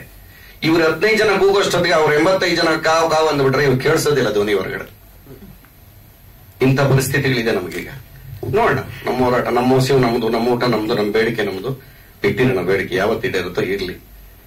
ಒಂದು ಈ ಜನಗಳಿಗೆ ಉಪಯೋಗ ಆಗಂತ ರೀತಿಯಲ್ಲಿ ಯಾರಾದ್ರೂ ಒಬ್ರು ಧ್ವನಿ ಬೇಕಲ್ಲ ಗಟ್ಟಿ ಧ್ವನಿ ಬೇಕಲ್ಲ, ಅದಕ್ಕೆ ಈ ಸಿನಿಮಾ ಇಂಡಸ್ಟ್ರಿಗೆ. ಸರಿ ಹೇಳಿದ್ರು ಅವ್ರು ಅಲ್ಲೇ ಫಿಕ್ಸ್ ಆಗ್ಬಿಟ್ಟವ್ರೆ. ಇದರಿಂದ ನಾನು ಕೋಟ್ಯಾಂತರ ರೂಪಾಯಿ ದುಡಿತೀನಿ ಅಂತ ನಾನು ಅನ್ಕೊಂಡಿಲ್ಲ. ನಾಗಾಭರಣ ಸರ್ ಫಸ್ಟೇ ನನಗೆ ಹೇಳಿದ್ದಾರೆ ಅಂತ. ಫಿಕ್ಸ್ ಆಗ್ಬಿಟ್ಟವ್ರೆ. ಒಂದು ಒಳ್ಳೇದನ್ನ ಹೇಳಿದಾಗ ಕಾಸು ಬೇಕಿಲ್ಲ. ಒಂದ್ ಭಕ್ತಿಗೀತೆ ಆಡಿ ಬನ್ನಿ ಅಂತ ಕಾರ್ಯಕ್ರಮಕ್ಕೆ ಮುಂಚೆ. ಕಾಸು ಕೊಟ್ಟರೆ ಆಡ್ತೀನಿ ಅನ್ನೋದು ತಪ್ಪು. ದೇವ್ರನ್ನ ಮಾಡ್ದಂಗಾಗತ್ತೆ ಜಪ ಮಾಡ್ದಂಗಾಗತ್ತೆ ಹಾಡ್ಬಿಟ್ಟು ಹೋಗ್ತಾ ಇರ್ಬೇಕು. ಆ ನಿಟ್ಟಿನಲ್ಲಿ ಈ ಸಿನಿಮಾ ಬರ್ತಾ ಇದೆ. ಎಲ್ರು ಸಪೋರ್ಟ್ ಮಾಡಿ. ನಮಸ್ಕಾರ. ಈ ಕಡೆ ನಮ್ಮ ಡಾಕ್ಟರ್ ವರದರಾಜ್ ಅವರು ಈ ಪಿಕ್ಚರ್ಗೂ ನನಗೇನು ಸಂಬಂಧ ಫಸ್ಟ್ ಹೇಳ್ಬಿಟ್ಟು ಮಿಕ್ಕಿದ ಮುಂದಕ್ಕೆ ಒಂದೆರಡು ಮಾತಾಡಬೇಕು ಅಂತಿದ್ದೀನಿ. ಈ ಸಿನಿಮಾದಲ್ಲಿ ನಾನು ಪ್ರೊಡಕ್ಷನ್ ಎಕ್ಸಿಕ್ಯೂಟಿವ್ ಅಲ್ಲ. ಒಂದ್ ಯಾವ್ದೋ ಒಂದು ವಿಶೇಷವಾದ ಪರ್ಮಿಷನ್ ಬೇಕು ಅಂತ ಅಂದಾಗ ನಮ್ಮ ಸುಧೀಂದ್ರ ಅವ್ರು ಬಂದ್ರು. ಅಷ್ಟೊಂದು ತುಂಬಾ ನಾನು ಹೇಳ್ಬಾರ್ದೇನೋ ಅದ್ ಮಾತನ್ನ ನಮ್ ಡೈರೆಕ್ಟರ್ ಬೈತಾರೆ. ಆದ್ರೂ ಹೇಳ್ಬಿಡ್ತೀನಿ, ಬೈಲಿ ಅಂತ. ಇಷ್ಟೊಂದು ಕಾಸ್ಟ್ ಕೊಟ್ಟು ಅಲ್ಲಿ ಮಾಡ್ಬೇಕಾ ನೀವು? ಯಾಕೆ ಬೇಕು ನಿಮಗೆ ಅಂತ ನಾನು ಅಂದಾಗ ನಿರ್ದೇಶಕರು, ನಿರ್ಮಾಪಕರು, ಇಲ್ಲ, ಅದು ಬೇಕೇ ಬೇಕು ಅಂತ ಹಠ ಬಿದ್ಬಿಟ್ರು. ಆದ್ರೂ ನಾನೊಂದು ಒಂದು ವಾರ, ಹತ್ತು ದಿವಸ ಅದನ್ನ ಬಿಡುತ್ತಾರೆ ಅಂತ ಅವಾಯ್ಡ್ ಮಾಡಿದೆ, ಬಿಡ್ಲಿಲ್ಲ. ಆ ಪರ್ಮಿಷನ್ ತರೋದಕ್ಕೆ ಹೋಗಿ ಇವರು ಅಸೆಂಬ್ಲಿ ಹಾಲೇ ಬೇಕು ಅಂತ ಕೇಳಿದ್ರು. ಅದು ಚೌಕ ಅನ್ನೋ ಒಂದು ಸಿನಿಮಾಗೆ ಅಲ್ಲಿ ಬಳ್ಳ ಇದು ಕೊಡ್ಸಿದ್ದೆ, ಅಲ್ಲಿ, ಬೆಳಗಾವಲ್ಲಿ. ಅಷ್ಟ್ ದೊಡ್ಡದ್ ಬೇಡ ಅಂತ ಹೇಳಿ ಇಲ್ಲಿ ಒಂದು ಕೊಡ್ಸಿದ್ನ. ನಾನು ಆ ಮೂರ್ ದಿವಸ ಮಾತ್ರ ಕೆಲಸ ಮಾಡಿದೀನಿ ಆ ಕೆಲಸ ಮಾಡಿದಾಗ ನೋಡ್ದೆ ಇವ್ರುಗಳ ಇಂಟ್ರೆಸ್ಟ್ನ. ಡೈರೆಕ್ಟರ್ದು ವರದರಾಜು ಅವ್ರದ್ದು ನಮ್ ಸಾರು ಅಲ್ಲಿ ಇರ್ಲಿಲ್ಲ ನಮ್ ನಾಗಾಭರಣ ಸಾರು. ಆ ಸನ್ನಿವೇಶದಲ್ಲಿ ಇರ್ಲಿಲ್ಲ. ನಾನು, ಆ ಪರ್ಮಿಷನ್ ಕೊಟ್ಟಾಗ ಇವ್ರು ಮಾಡಿದ್ದ ಇಂಟ್ರೆಸ್ಟ್ ನೋಡಿ ಬಹಳ ಖುಷಿ ಆಯ್ತು. ಓಹೋ, ಹೊಸದಾಗಿ ಬಂದಿರೋ ನಿರ್ಮಾಪಕರಿಗೆ, ಹೊಸ ನಿರ್ದೇಶಕರಿಗೂ ಈ ತರ ನಾವು ನಮ್ಗೆ ಮುಂದಿಂದು ಗೆಲ್ಲೋದಕ್ಕೆ ನಾವು ಹೋಗೋಣ ಸರ್. ಖರ್ಚಿನ ಬಗ್ಗೆ ನೋಡೋದ್ ಬೇಡ ಅಂತ ಹೇಳಿ ಬಹಳ ನೀಟಾಗಿ ಅಲ್ಲಿಗೆ ಏನೇನ್ ಬೇಕೋ ಅನುಕೂಲಗಳು ಡೈರೆಕ್ಟರ್ ಕೇಳಿದ್ದೆಲ್ಲ ಕೊಟ್ಟು ತುಂಬಾ ಪಿಕ್ಚರ್ ಪಿಕ್ಚರೈಸ್ ಮಾಡಿದ್ರು ಆ ಮೂರ್ ದಿವಸ. ಆ ಕೆಲಸ ಮಾಡಿದ್ದೆ ಹೊರತು ನಾನು ಇನ್ನೇನು ಅಲ್ಲ, ಈ ತರ ನಿರ್ಮಾಪಕರನ್ನ ನನ್ನ ಪ್ರಕಾರ, ನಾನು ಕೆಲಸ ಮಾಡ್ಕೊಂಡ್ ಬಂದಿರೋ ಪ್ರಕಾರ ಇಂಥ ನಿರ್ಮಾಪಕರನ್ನ ನಾವು ಉಳಿಸ್ಕೊಳ್ಳೇಬೇಕು ಅನ್ನೋದು ನಂದೊಂದು ಆಸೆ. ಹಾಗೆ ಆ ತರ ಹೊಸದಾಗಿ ಬಂದಿರೋ ನಿರ್ದೇಶಕ ಇಂಟ್ರೆಸ್ಟ್ ಇದೆ. ಅದ್ರಿಗೂ ಒಳ್ಳೇದಾಗುತ್ತೆ ದೇವ್ರ ದಯದಿಂದ ಅನ್ನೋದು ನಂದು. ಪ್ರಜಾರಾಜ್ಯ ಅನ್ನೋದು ಈಗ ನಮ್ಮ ನಿರ್ದೇಶ, ನಮ್ಮ ನಾಗಾಭರಣ ಸರ್ ಹೇಳಿರೋ ಸ್ಲೋಗನ್ ಇದೆಯಲ್ಲ ಅಲ್ಲಿ? ಅದು ನಿಜವಾಗ್ಲೂ ಮನ ಮುಟ್ಟೋಂಗಿದೆ ಆಮೇಲೆ ನನ್ನನ್ನು ಅವರು ಕರೆಯೋವಾಗ್ಲೇ, ನಾನು ಕರೆಯೋವಾಗ್ಲೇ ನಿಮ್ಗೆ ಹೇಳ್ಬೇಕಾಯ್ತು. ಬಟ್ ಡೈರೆಕ್ಟ್ ಹೇಳಿದಾರೆ ಸುಮ್ನೆ ಆಗ್ಬಿಟ್ಟೆ. ಬಿಜೆಪಿ ರವಿಶಂಕರ್ ಅಲ್ಲ ನಾನು. ಫಿಲಂ ರವಿಶಂಕರ್. ಬಿಜೆಪಿಗೆ ಸಿನಿಮಾ ನನಗೆ ನಲವತ್ತು ವರ್ಷದಿಂದ ಊಟ ಹಾಕೊಂಡ್ ಬಂದಿದೆ, ಬೆಳೆಸಿದೆ. ಬಿಜೆಪಿಗೆ ಯಾಕೆ ಹೋದೆ ಅಂದ್ರೆ ಅದು ಯಾವ್ದೋ ಒಂದ್ ಕಾಲದಲ್ಲಿ ಅನಂತ್ ಕುಮಾರ್ ಅವ್ರು ನಾನು ಸೇರಿಸಿದ್ರು. ಅಲ್ಲಿ ಹೋದೆ ಈಗ ನಾನು ಅಲ್ಲಿರೋದು ಏನಾಗ್ತಾ ಇದೆ ಅಂದ್ರೆ ಈ ತರ ಇದೆ ಹೇಳಿದ್ರಲ್ಲ ಸ್ಪೆಷಲ್ ಪರ್ಮಿಷನ್ಸ್ಗಳು ಎಲ್ಲಿ ಕೊಡಲ್ಲ ಅಂತಾರೆ. ಇವೆಲ್ಲ ಯಾಕೆ ಕೊಡಲ್ಲ ಅನ್ನೋದಕ್ಕೆ ಅದೊಂದು ಅಲ್ಲೊಂದ್ ಕಡೆ ಕೆಲಸ ಮಾಡ್ತಾ ಇದೀವಿ ಅಷ್ಟೇ. ಊಟ ಆಗ್ತಾ ಇರೋದು ನನ್ನನ್ನು ಬೆಳೆಸ್ತಾ ಇರೋದು ಸಿನಿಮಾ ರಂಗನೇ. ಸೊ ಬಿಜೆಪಿ ರವಿಶಂಕರ್ ಅಂತ ಕರೆಯೋದ್ ಬೇಡ ನನ್ನೆಲ್ಲ ಮಾಧ್ಯಮ ಮಿತ್ರರು. ನಿಮ್ ಜೊತೆ ನಾನ್ ಸಿನಿಮಾ ಸಿನಿಮಾ ಫಸ್ಟ್ ಆಮೇಲೆ ಅದು. ಅದೆಲ್ಲ ಇದಕ್ಕೆ ಈ ಪಿಕ್ಚರ್ಗೆ ನಾಣಿ ಅವರು ಮಾಡಿದ್ದಾರೆ ನಮ್ ನಾಗಾಭರಣ ಸರ್ ಮಾಡಿದ್ದಾರೆ. ಡ್ಯಾನ್ಸ್ ಮಾಸ್ಟರ್ ಹೆಸರು ಮತ್ತೆ ನಾನು. ಚಾಮರಾಜ್ ಅವ್ರು ಕೆಲಸ ಮಾಡಿದ್ದಾರೆ ಟೆಕ್ನಿಷಿಯನ್ ಆಗಿ. ಇವ್ರ ಆಕ್ಟಿಂಗ್ ಕೂಡ ನಾನು ಒಂದ್ ಎರಡು ಸಿ ಇದ್ರಲ್ಲಿ ಇದ್ರಲ್ಲಿ ನೋಡಿದೆ ನಾನು ಅದು ಮಾನಿಟರ್ ಅಲ್ಲಿ. ಇವರು ಏನು ಕಮ್ಮಿ ಇಲ್ಲ ವರದರಾಜ್ ಅವರು ಡಾಕ್ಟರ್ ಅಂತಾರೆ. ಆ ಡಾಕ್ಟರ್ಗೆ ಎಷ್ಟು ಎಕ್ಸ್ಪೀರಿಯನ್ಸ್ ಇರಬೇಕು, ಓದಿರ್ಬೇಕು, ಫಸ್ಟ್ ಸಿನಿಮಾದಲ್ಲಿ ಆಕ್ಟ್ ಮಾಡೋದೇ ಅಷ್ಟು ಕಲ್ತು ಬಿಟ್ಟಿದ್ದಾರೆ ಇವ್ರು. ನಾನು ನೋಡಿದೆ ಮಾನಿಟರ್ ಅಲ್ಲಿ ಇವ್ರಿಗೂ ಒಳ್ಳೇದಾಗ್ಬೇಕು. ಇಂಥ ನಿರ್ಮಾಪಕರು ಉಳ್ಕೋಬೇಕು. ಈ ಈ ಸಿನಿಮಾ ಕಷ್ಟಪಟ್ಟು ಮಾಡಿದ್ದಾರೆ. ನಿಮ್ಮ ನಿಮ್ಮ ಸಹಕಾರದಲ್ಲೇ ಹೋಗ್ಬೇಕು. ಈ ಇದುವರೆಗೂ ನಾನ್ ನೋಡ್ಕೊಂಡ್ ಬಂದಿರೋ ಪ್ರಕಾರ ಮಾಧ್ಯಮದಿಂದಲೇ ಹೆಚ್ಚು ಸಿನಿಮಾಗೆ ಪ್ರಚಾರ ಸಿಕ್ಕಿ ಅವರು ಗೆಲ್ಲಕ್ ಸಾಧ್ಯವಾಗಿರೋದು ನಾನ್ ತಿಳ್ಕೊಂಡಿರೋ ಈ ನಲವತ್ತು ವರ್ಷದ ಅನುಭವದಲ್ಲಿ ನಿಮ್ಮ ಆಶೀರ್ವಾದ ಸಹಕಾರ ಅವ್ರಿಗೆ ಬೇಕೇ ಬೇಕು. ಎಲ್ಲಾರು ನಿಮ್ ಸಹಕಾರ ಇರ್ಲಿ ಅಂತ ಹೇಳಿ ಈ ಪಿಕ್ಚರ್ ಒಳ್ಳೇದಾಗ್ಲಿ ಆದಷ್ಟು ಬೇಗ ರಿಲೀಸ್ ಮಾಡಿ ನಿಮ್ಗೆ ಒಳ್ಳೇದಾಗ್ಲಿ ದೇವರು ನಿಮ್ಗೆ ಒಳ್ಳೇದ್ ಮಾಡ್ಲಿ ಅಂತ ಹೇಳ್ತೀನಿ ವರದರಾಜು ಅವರು ವಿಜಯ್ ಅವರಿಗೆ. ಧನ್ಯವಾದಗಳು. ಫಿಲ್ಮ್ ರವಿಶಂಕರ್ ಸರ್ ಇಲ್ಲಿ ನಮಸ್ಕಾರ ಎಲ್ರಿಗೂ. ನನ್ನ ಹೆಸರು ರಾಕೇಶ್ ಸಿಗ್ತಿಲಕ್ ಅಂತ. ಈ ಸಿನಿಮಾ ಸಿನಿಮಾಟೋಗ್ರಾಫರ್ ಆಗಿ ವರ್ಕ್ ಮಾಡಿದ್ನಿ. ಮೊದಲನೇದಾಗಿ ವಿಜಯ್ ಭಾರ್ಗವ್ ಸರ್ಗೆ, ಆಮೇಲೆ ನಮ್ಮ ಪ್ರೊಡ್ಯೂಸರ್ ಸರ್ ವರ್ಧರಾಜ್ ಸರ್ಗೆ ಥ್ಯಾಂಕ್ಸ್ ಹೇಳಬೇಕು. ಇಂದ ಒಂದು ಆಪರ್ಚುನಿಟಿ ಕೊಟ್ಟಿದ್ದಕ್ಕೆ. ಮತ್ತೆ ಸರ್ ಹೇಳಿದ್ರು, ಇದೊಂದು ಡಾಕ್ಯುಮೆಂಟರಿ ತರ ಶೂಟ್ ಮಾಡಿದೀವಿ ಅಂತ. ಖಂಡಿತ ಇಲ್ಲ. ಸಿಕ್ಸ್ಟಿ ಏಟ್ ಡೇಸ್ ಕಮರ್ಷಿಯಲ್ ಆಗಿ ಔಟ್ ಅಂಡ್ ಕಮರ್ಷಿಯಲ್ ಆಗಿ ಇದನ್ನ ಶೂಟ್ ಮಾಡಿದೀವಿ.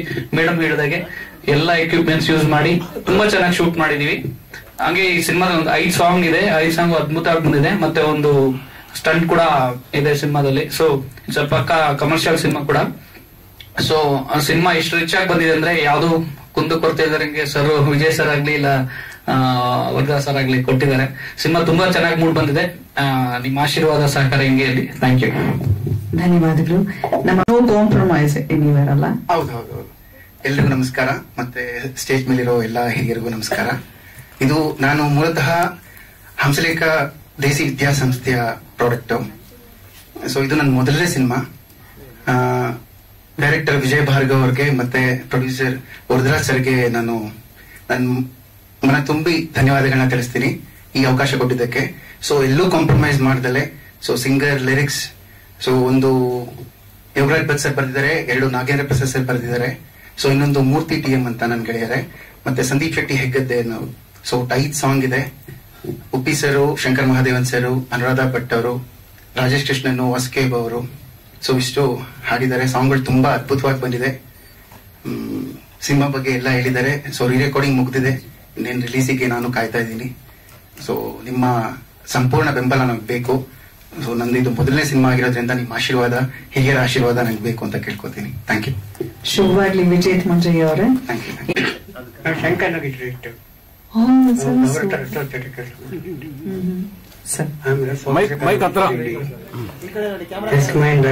ಅದಕ್ಕೆ ಅದರ ಆಕ್ಟಿಂಗ್ ಚೆನ್ನಾಗಿ ಬಂದಿದೆ ಕೆ ಜಿ ಎಫ್ ಅಲ್ಲಿ.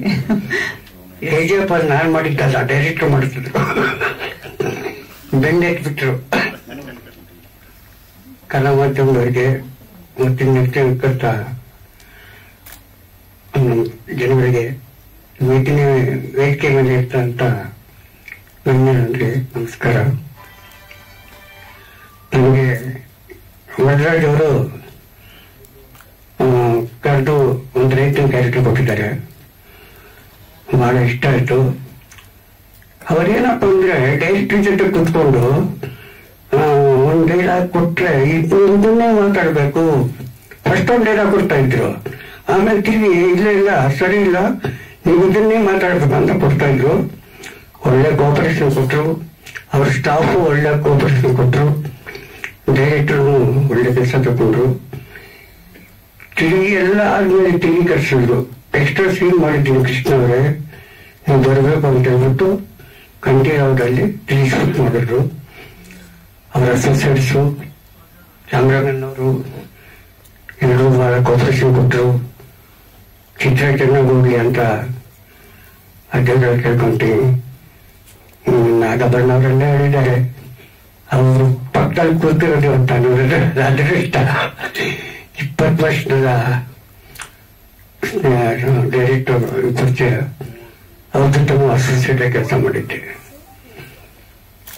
Okay sir. ಇಲ್ಲಿ ಒಂದು ವಿಷಯ ನಾನು ಎರಡು ಮೂರು ಕಡೆ ಹೇಳ್ಬೇಕು ಅನ್ಕೊಂಡೆ ಸರ್. ಬಂದಾಗ ಅದೇ ಹೇಳಿದ್ನಲ್ಲ, ಮರ್ತೋಗ್ಬಿಡ್ತೀನಿ ಅಂತ ಹೇಳಿ. ಇವಾಗ ಹೇಳಲೇಬೇಕು ನಾನು ಅದನ್ನ ನಾನು ಹೆಂಗ್ ಬಂದೆ ಸಿನಿಮಾಗೆ ಅಂತ.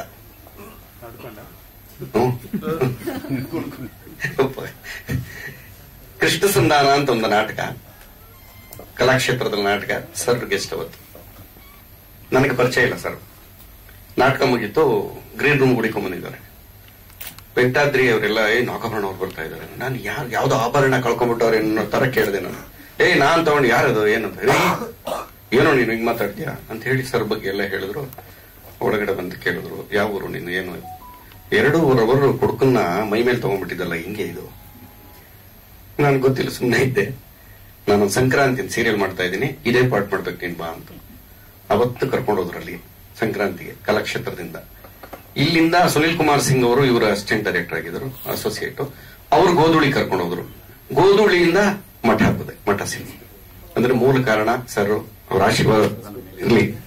ಯಾಕೆಂದ್ರೆ ವಸ್ತು ಎಂತದಾಗ್ಲಿ ವ್ಯಕ್ತಿ ಯಾರೇ ಆಗ್ಲಿ ಗುರುತು ಹಿಡಿದು ಅದನ್ನ ತಗೊಂಡ್ಬಂದು ಇಲ್ಲಿ ಕೂತ್ಕೋಬೇಡ ಇಲ್ಲಿ ಕೂತ್ಕೊಂತ ಕೂರ್ಸೋದಿದೆಯಲ್ಲ ಅದೇ ದೇವ್ರ ಕೆಲಸ. ನನ್ನ ಬಾಲಿನ ದೇವರು. ಇದನ್ನ ಎಲ್ಲಾ ಕಡೆ ಹೇಳಬೇಕು ಅಂತ ಮರೆತು ಮರೆತು ಹೋಗ್ತಾ ಇತ್ತು ಇವತ್ತು ಜ್ಞಾಪಕ ಬಂದಿದೆ. ಇಲ್ಲ ಅವ್ರು ಏನೋ ಒಂದು ಮಾತು ಹೇಳಿದ್ರು ಅಲ್ಲಿಂದ ಟ್ರಿಗರ್ ಆಯ್ತು ನನಗೆ. ಸೊ ಹಾಗಾಗಿ ನೂರ ಮೂವತ್ತೇಳು ಸಿನಿಮಾ ಆಯ್ತು ಇನ್ನೂ ನಾಲ್ಕು ಸಿನಿಮಾ ನಡೀತಾ ಇದೆ. ಇಷ್ಟಕ್ಕೂ ಮೂಲ ಕಾರಣ ಸರ್ ನನ್ನ ಗುರ್ತಿಡಿದು ವೇದಿಕೆಯಿಂದ ಅಲ್ಲಿ ಕರ್ಕೊಂಡು. ನಾನು ಚಿರುರುಣಿ ನನ್ನ ಜನ್ಮ ಇರೋರು ನಾನು ಮರೆಯೋದಿಲ್ಲ ಅದನ್ನ. ಯಾಕೆಂದ್ರೆ ವೇದಿಕೆ ಊಟನೇ ಬೇರೆ, ಸಿನಿಮಾ ಊಟನೇ ಬೇರೆ. ನಾಟಕ ಇದೆಯಲ್ಲ, ಆ ರಂಗತಂಡದ ಊಟನೇ ಬೇರೆ. ಅಲ್ಲಿ ಬಡಿಸುವಂತ ಊಟ ತಿಂಡಿ ನೋಡಕ್ ಚೆನ್ನಾಗಿ ಕಾಣದೇ ಇರ್ಬೋದು. ದೂರಕ್ಕೆ ಇಶಾರಾಮವಾಗಿ ಗ್ಲಾಸಲ್ಲಿ, ತಟ್ಟೆಗಳಲ್ಲಿ. ಈ ಊಟದ ರುಚಿನೇ ಬೇರೆ, ಅದೇ ರುಚಿ ಬೇರೆ. ಅಲ್ಲೇ ಆಶೀರ್ವಾದ ಮಾಡಿರೋದ್ರಿಂದ ನನಗೆ ದೇವರು ಇಲ್ಲಿವರೆಗೂ ರೈಟಿಂಗ್ ಅಲ್ಲಾಗ್ಲಿ ಕರೆದಿದ್ರು ನನ್ನ ರೈಟಿಂಗ್ ಅಲ್ಲಿ ಸೇರ್ಕೊಂಡ್ಬಿಟ್ಟು ಬಂದು ನನ್ನ ಆಫೀಸಲ್ಲಿ ಇರುವಂತ.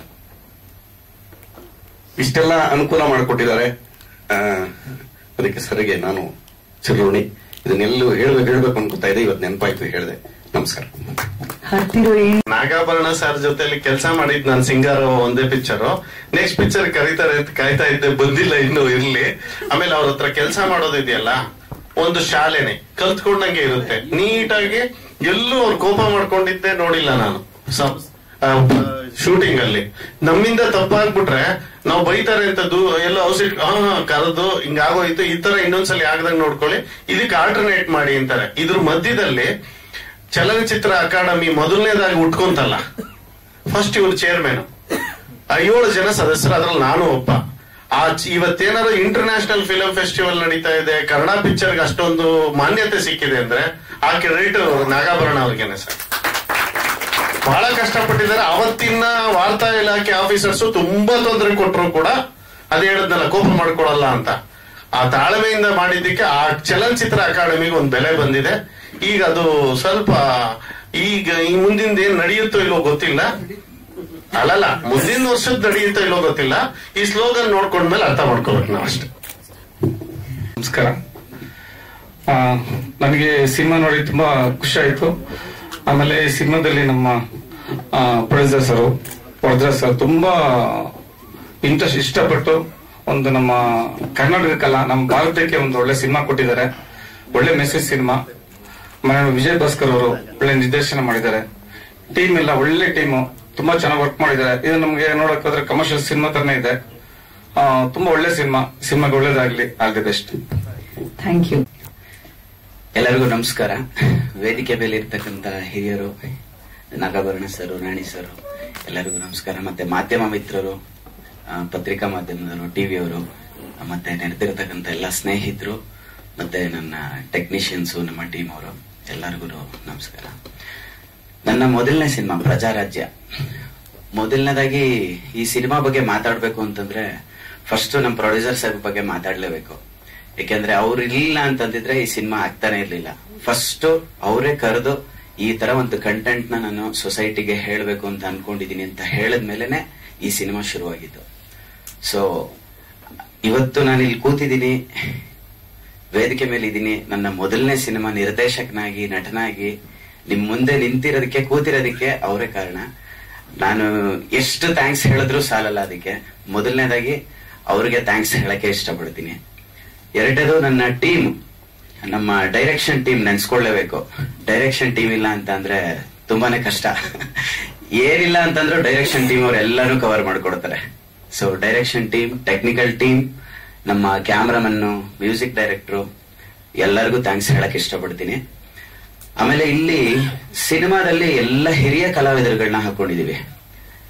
ಇದು ಮೊದಲನೇ ಸಿನಿಮಾದಲ್ಲಿ ತುಂಬಾ ಜನಕ್ಕೆ ಸಿಗಲ್ಲ. ಒಂದು ಅದೃಷ್ಟ ಅಂತಾನೆ ಹೇಳಬಹುದು. ನಾಗವರ್ಣ ಸರ್ ನಾ ಅವರು ಇದ್ದಾಗ ನಾವಿನ್ನ ಹುಟ್ಟೇ ಇರ್ಲಿಲ್ಲ. ಅಷ್ಟು ದೊಡ್ಡ ಹಿರಿಯ ಕಲಾವಿದ್ರು ಹಿರಿಯ ನಿರ್ದೇಶಕರು Devaraj sir Naani sir Sudharani madam Sudha Belawadi madam ಇವ್ರ ಜೊತೆ ಎಲ್ಲ ವರ್ಕ್ ಮಾಡೋದೇ ಒಂದು ಅದೃಷ್ಟ.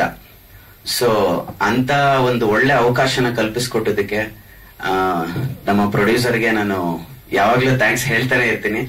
ನೆಕ್ಸ್ಟ್ ಈ ಸಿನಿಮಾ ಕಂಟೆಂಟ್ ಆಲ್ರೆಡಿ ಎಲ್ಲ ಹೇಳಿದ್ದಾರೆ.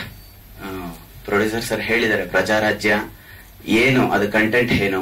ಇವತ್ತು ಇಂಡಿಯನ್ ಕಾನ್ಸ್ಟಿಟ್ಯೂಷನ್ ಯಾವ ರೀತಿ ಯೂಸ್ ಆಗ್ತಾ ಇದೆ, ಯಾವ ರೀತಿ ಮಿಸ್ಯೂಸ್ ಆಗ್ತಾ ಇದೆ, ಪ್ರತಿಯೊಂದನ್ನು ಹೇಳಿದ್ದಾರೆ ದೊಡ್ಡವರು ಎಲ್ಲ ಹೇಳಿದ್ದಾರೆ ಆಲ್ರೆಡಿ ಸಿನಿಮಾ ಕಂಪ್ಲೀಟ್ ಆಗಿದೆ ಸೆನ್ಸಾರ್ ಕಳಿಸಿದೀವಿ ಆಲ್ರೆಡಿ ಐದು ಸಾಂಗು, ಒಂದು ಫೈಟು ಇದೆ. ಕಮರ್ಷಿಯಲ್ ಆಗೂ ಇದೆ, ಮತ್ತೆ ಮೆಸೇಜ್ ಓರಿಯೆಂಟೆಡ್ ಕೂಡ ಇದೆ. ಮತ್ತೆ ಎಲ್ಲಾ ರೀತಿ ಆಯಾಮಗಳನ್ನು ತೋರಿಸ್ತಕ್ಕಂತ ಒಂದು ಒಳ್ಳೆ ಸಬ್ಜೆಕ್ಟ್ ಇದು. ಎಲ್ಲರಿಗೂ ಇಷ್ಟ ಕೇಳ್ಕೊಳ್ಳೋದು. ಹೊಸಬ್ರೆಲ್ಲ ಸೇರಿ ಹಳಬರ ಸಹಕಾರದಿಂದ, ಅವರ ಆಶೀರ್ವಾದದಿಂದ ಸಿನಿಮಾ ಮಾಡಿದೀವಿ. ಮಾಧ್ಯಮದವ್ರದ್ದು ಮತ್ತೆ ಪತ್ರಿಕಾ ಮಾಧ್ಯಮದವ್ರದಾಗ್ಲಿ, ಟಿವಿ ಮಾಧ್ಯಮದವ್ರದಾಗ್ಲಿ ಎಲ್ಲರದ್ದು ಆಶೀರ್ವಾದ, ಸಹಕಾರ ಎಲ್ಲ ಬೇಕು. ಈ ಚಿತ್ರಕ್ಕೆ ನೀವೆಲ್ಲ ಆಶೀರ್ವದಿಸಿ ಅಂತ ಕೇಳ್ತಾ ನನ್ನ ಎರಡು ಮಾತನ್ನ ಮುಗಿಸ್ತಾ ಇದ್ದೀನಿ. ಥ್ಯಾಂಕ್ ಯು ವೆರಿ ಮಚ್ ಏನಂದ್ರೆ, ಮೊದಲೇ ಹೇಳ್ದಂಗೆ, ಇದರಲ್ಲಿ ಸಿನಿಮಾದಲ್ಲಿ ನಟನೆ ಮಾಡಿರ್ತಕ್ಕಂಥವ್ರು ಯಾರು ಹೀರೋ ಇಲ್ಲ. ಯಾರು ಒಬ್ಬರು ಓರಿಯೆಂಟೆಡ್ ಇಲ್ಲ, ಹೀರೋ ಹೀರೋಯಿನ್ ತರ ಒಂದು ಮುಖ್ಯವಾಗಿ ಗಮನಿಸಬೇಕಾಗಿರೋದಂದ್ರೆ ಯಾರು ಪ್ರೇಕ್ಷಕರು ಈ ಸಿನಿಮಾ ಕೂತ್ಕೊಂಡು ನೋಡ್ತಾರೆ, ಅವ್ರು ನಿಜವಾಗ್ಲೂ ಹೀರೋ ಆಗ್ತಾರೆ. ಅಂದ್ರೆ, ಎಲ್ಲಾರು ಏನ್ ಮಾಡಿದ್ರೆ ಬೂದಿ ಮುಚ್ಚಿದ ಕೆಂಡದ ತರ ಏನಿದಾರೆ ಇವತ್ತು? ಸಿನಿಮಾ ನೋಡಿದ್ಮೇಲೆ ಅವ್ರಿಗೆಲ್ಲೋ ಒಂದ್ ಕಡೆ, ಯಾವುದೋ ಒಂದು ಜಾಗದಲ್ಲಿ ಯಾವ್ದು ನನ್ಗೂ ಇದು ಅನ್ಸಿದೆ, ನನ್ಗೂ ಇದು ಎಕ್ಸ್ಪೀರಿಯನ್ಸ್ ಆಗಿದೆ ಅಂತ ಪ್ರತಿಯೊಬ್ಬರು ಹೇಳ್ತಿರೋದು. ಪ್ರತಿಯೊಬ್ಬರು ನಾಗರಿಕರು, ಯಾರೇ ಇರ್ಬೋದು, ರೈತ ಇರ್ಬೋದು ಯಾವುದೇ ಪ್ರೊಫೆಷನಲಿಸ್ಟ್ ಇರ್ಬೋದು. ಇನ್ಕ್ಲೂಡಿಂಗ್ ರಾಜಕಾರಣಿ ನಾನು ರಾಜಕಾರಣಿಗಳು ಈ ಸಿನಿಮಾ ಕುತ್ಕೊಂಡು ನೋಡಿದ್ರೆ ಅವರು ಅದ್ಭುತವಾಗಿದೆ ಅಂತ ಅಪ್ರಿಶಿಯೇಟ್ ಮಾಡೇ ಮಾಡ್ತಾರೆ. ಅವ್ರನ್ನು ಅವ್ರಿಗೂ ಟಚ್ ಆಗುತ್ತೆ. ಪ್ರತಿಯೊಂದು, ಅದಕ್ಕೆ ತಬಲಾಂಗಣಿವರೆಗೆ ಏನ್ ಕೊಟ್ಟಿದೀವಿ ಅಂದ್ರೆ, ಒಂದ್ ಕಡೆ ಆಟೋ ಡ್ರೈವರು ಕ್ಯಾಬ್ ಡ್ರೈವರ್ ಎಲ್ಲ ಹಾಕ್ಬಿಡ್ತಾರೆ ಅವರು. ಟೂ ವೀಲರ್ ಎಲ್ಲ ಓಡಿಸ್ತಾರೆ ಅದರಲ್ಲಿ ಆತರ ಇದೆ. ಸೊ ಪ್ರತಿಯೊಂದು ಕಾರ್ನರಲ್ಲೂ ಪ್ರತಿಯೊಬ್ಬರಿಗೂ ಟಚ್ ಆಗೋ ತರ ಇದೆ. ಸೊ ಯಾವ ಪ್ರೇಕ್ಷಕ ನೋಡ್ತಾರೋ, ಅವರೇ ಈ ಸಿನಿಮಾದ ಹೀರೋ ಅನ್ಕೊಂಡ್ರೆ ತಪ್ಪಾಗಲ್ಲ. ಸರ್ ನಂದು ಡಾಕ್ಟರ್ ಆಗಿ almost two thousand six ಮುಗಿಸಿದ್ದು. Two thousand six M B B S ಮುಗಿತು. ಆಮೇಲೆ M S two thousand ten ಆಮೇಲೆ two thousand fourteen neurosurgeon two thousand fourteen it's routine director ತಲೆ ಹೆಂಗಿದೆ?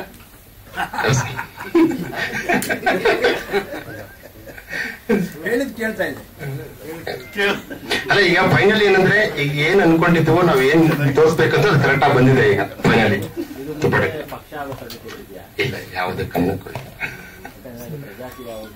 ಇಲ್ಲ ನೋ ನೋ ನೋವೇ ನೋವೇ ಚುನಾವಣೆ ಹತ್ರ ಬರ್ತಾ ಇದೆ. ಪ್ರಜೆಗಳು ಎಚ್ಚೆತ್ಕೊಂಡು ಮತ ಹಾಕುವಾಗ ಜಾಗೃತಿ ಆಗ್ಲಿ ಅಂತ ಒಂದು ಸಂದೇಶ. ಒಂದು ಜಾಗೃತಿ ಜನರಿಗೆ ಮೂಡಿಸಬೇಕು ಅನ್ನೋ ಒಂದೇ ಒಂದು ಉದ್ದೇಶದಿಂದ ಈ ಸಿನಿಮಾನ ಮಾಡಿರೋದು. ಇಲ್ಲ ಸರ್ ಮಾಡಿಲ್ಲ. ಅಲ್ಲ ಅದೇ ಕ್ವಶನ್ ಅಲ್ವಾ? ಅಲ್ಲ ಅಲ್ಲ ಅದನ್ನು ಬೇರೆ ಕಡೆ ಮಾಡಿದ್ವಿ ಒಂದು ಜಿಲ್ಲಾ ಪಂಚಾಯತ್ ಅವ್ರು ಏನಿದೆ ಸರ್ಕಾರದ ರೂಲ್ಸ್ ಪ್ರಕಾರ ಈಗ ಯಾವುದು ಗೌರ್ಮೆಂಟ್ ಆಫೀಸ್ ಕೊಡ್ತಿಲ್ಲ. ಅದಕ್ಕೆ ನಾವು ಒಂದು ಜಿಲ್ಲಾ ಪಂಚಾಯತ್ ಇದ್ರೆ ಮಾಡ್ಕೊಂಡ್ವಿ. ಚೆನ್ನಾಗಿ ಬಂದಿದೆ. ಅಲ್ಲೆಲ್ಲ ಸ್ವಲ್ಪ ಸೆಟ್ ಮಾಡ್ಕೊಂಡು ವಿಧಾನಸೌಧ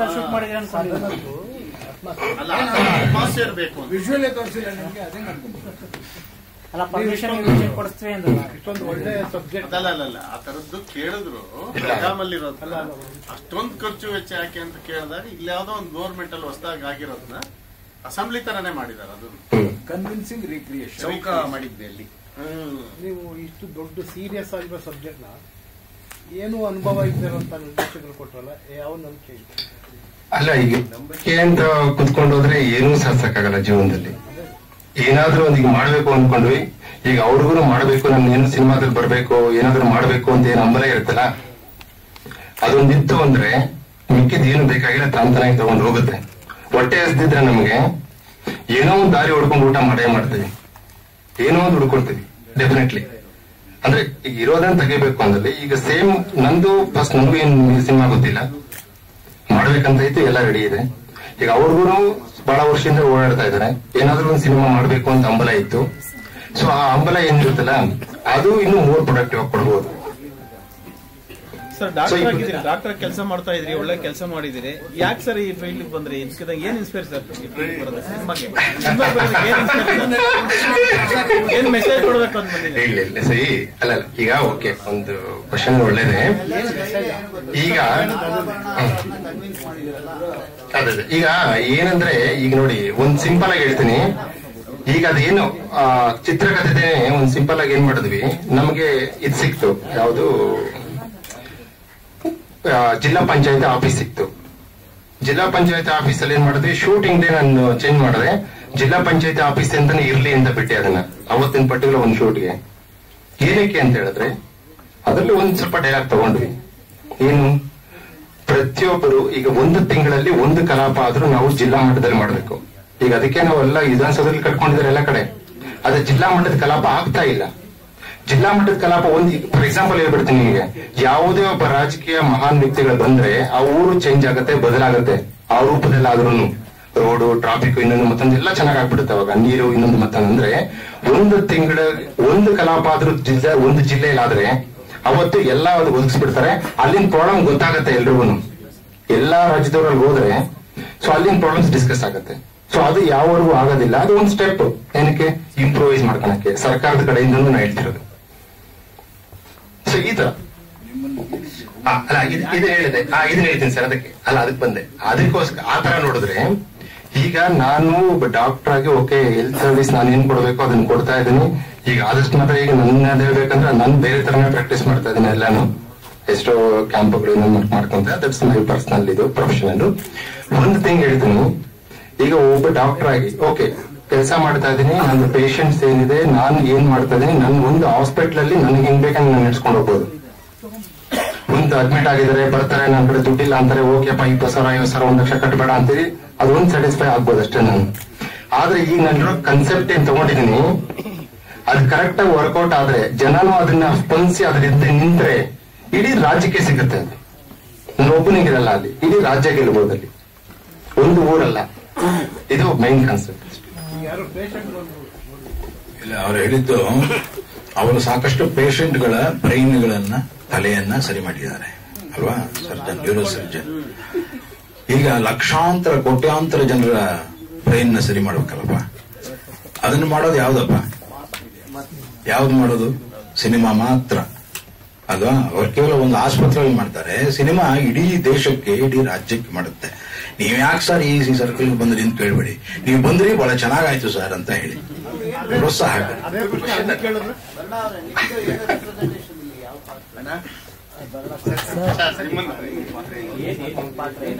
ಎಲ್ಲಾದ್ರೂ ಉಂಟ ಅಣ್ಣ? ನಾನ್ ಕಥೆನೇ ಹೇಳಲ್ಲ ಅವರು, ಇನ್ನು ನನ್ನ ಪಾತ್ರ ಹೇಳ್ತೀನ? ಪಾತ್ರ ಹೇಳ್ಬಿಟ್ರೆ ನೀವು ಇಡೀ ಕತೆ ಗೊತ್ತಾಗ್ಬಿಡುತ್ತೆ. ಇಲ್ಲ ಒಟ್ಟಿನಲ್ಲಿ ನನಗೆ ಖುಷಿಯಾದಂತ ಒಂದು ಕಥೆಯ ಅಪ್ರೋಚ್ ಎರಡನೇದು, ಮಾಡಬೇಕು ಅನ್ನುವಂತಹ ಪ್ರಾಮಾಣಿಕ ಬದ್ಧತೆ.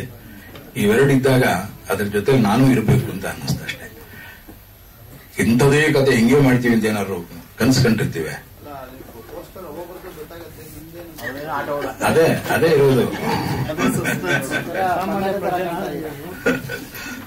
ವರದಾಜ್ ಸರ್ ನಾನಂತೂ ಬಿಟ್ಕೊಳ ಏ, ನಾನೇ ಹೇಳ್ಬಿಡ್ತೀನಿ ಬಿಡಿ ನಾಗಮಣ ಸರ್ ಅದು ಒಂದು ರೈತನ ಪಾತ್ರ ಅವ್ರಿಗೆ ಇಲ್ಲ ಅವರು ಡ್ರೆಸ್ ಆಗಿರೋದು ಶಾಲೆ ಗ್ರೀನ್ ಇಲ್ಲ ಆ ಪಾತ್ರಕ್ಕೆ ಒಂದು ವೆಯ್ಟೇಜ್ ವರದಾಜ್ ಸರ್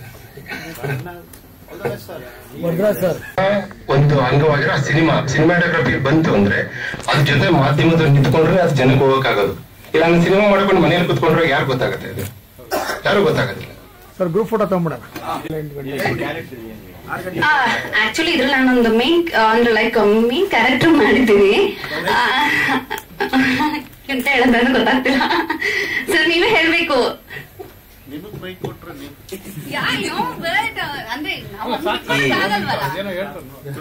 ಇಲ್ಲಿ ನಾಲ್ಕು ಎಪಿಸೋಡ್ ಬರುತ್ತೆ. ನಾಲ್ಕು four pillars of the society ಅಂತ ಹೇಳಿ ತಗೊಂಡಿರೋದು. Agriculture health education and employment agricultural episode ಅಲ್ಲಿ ನಾನು ಮೇಡಮ್ ಮತ್ತೆ ನಾಗಾಭರಣ ಸರ್ ಇವರೆಲ್ಲ ಒಂದ್ ಎಪಿಸೋಡ್ ಅಲ್ಲಿ ರೆಪ್ರೆಸೆಂಟ್ ಮಾಡ್ತೀವಿ.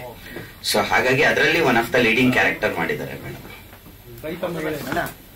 ರೈತ ಮಹಿಳೆ. ಸಪೋರ್ಟಿವ್ ಟು ರೈತ. ಬೆಳೆ ಬೆಳೆದೇ ಇಲ್ಲ ಅಂತ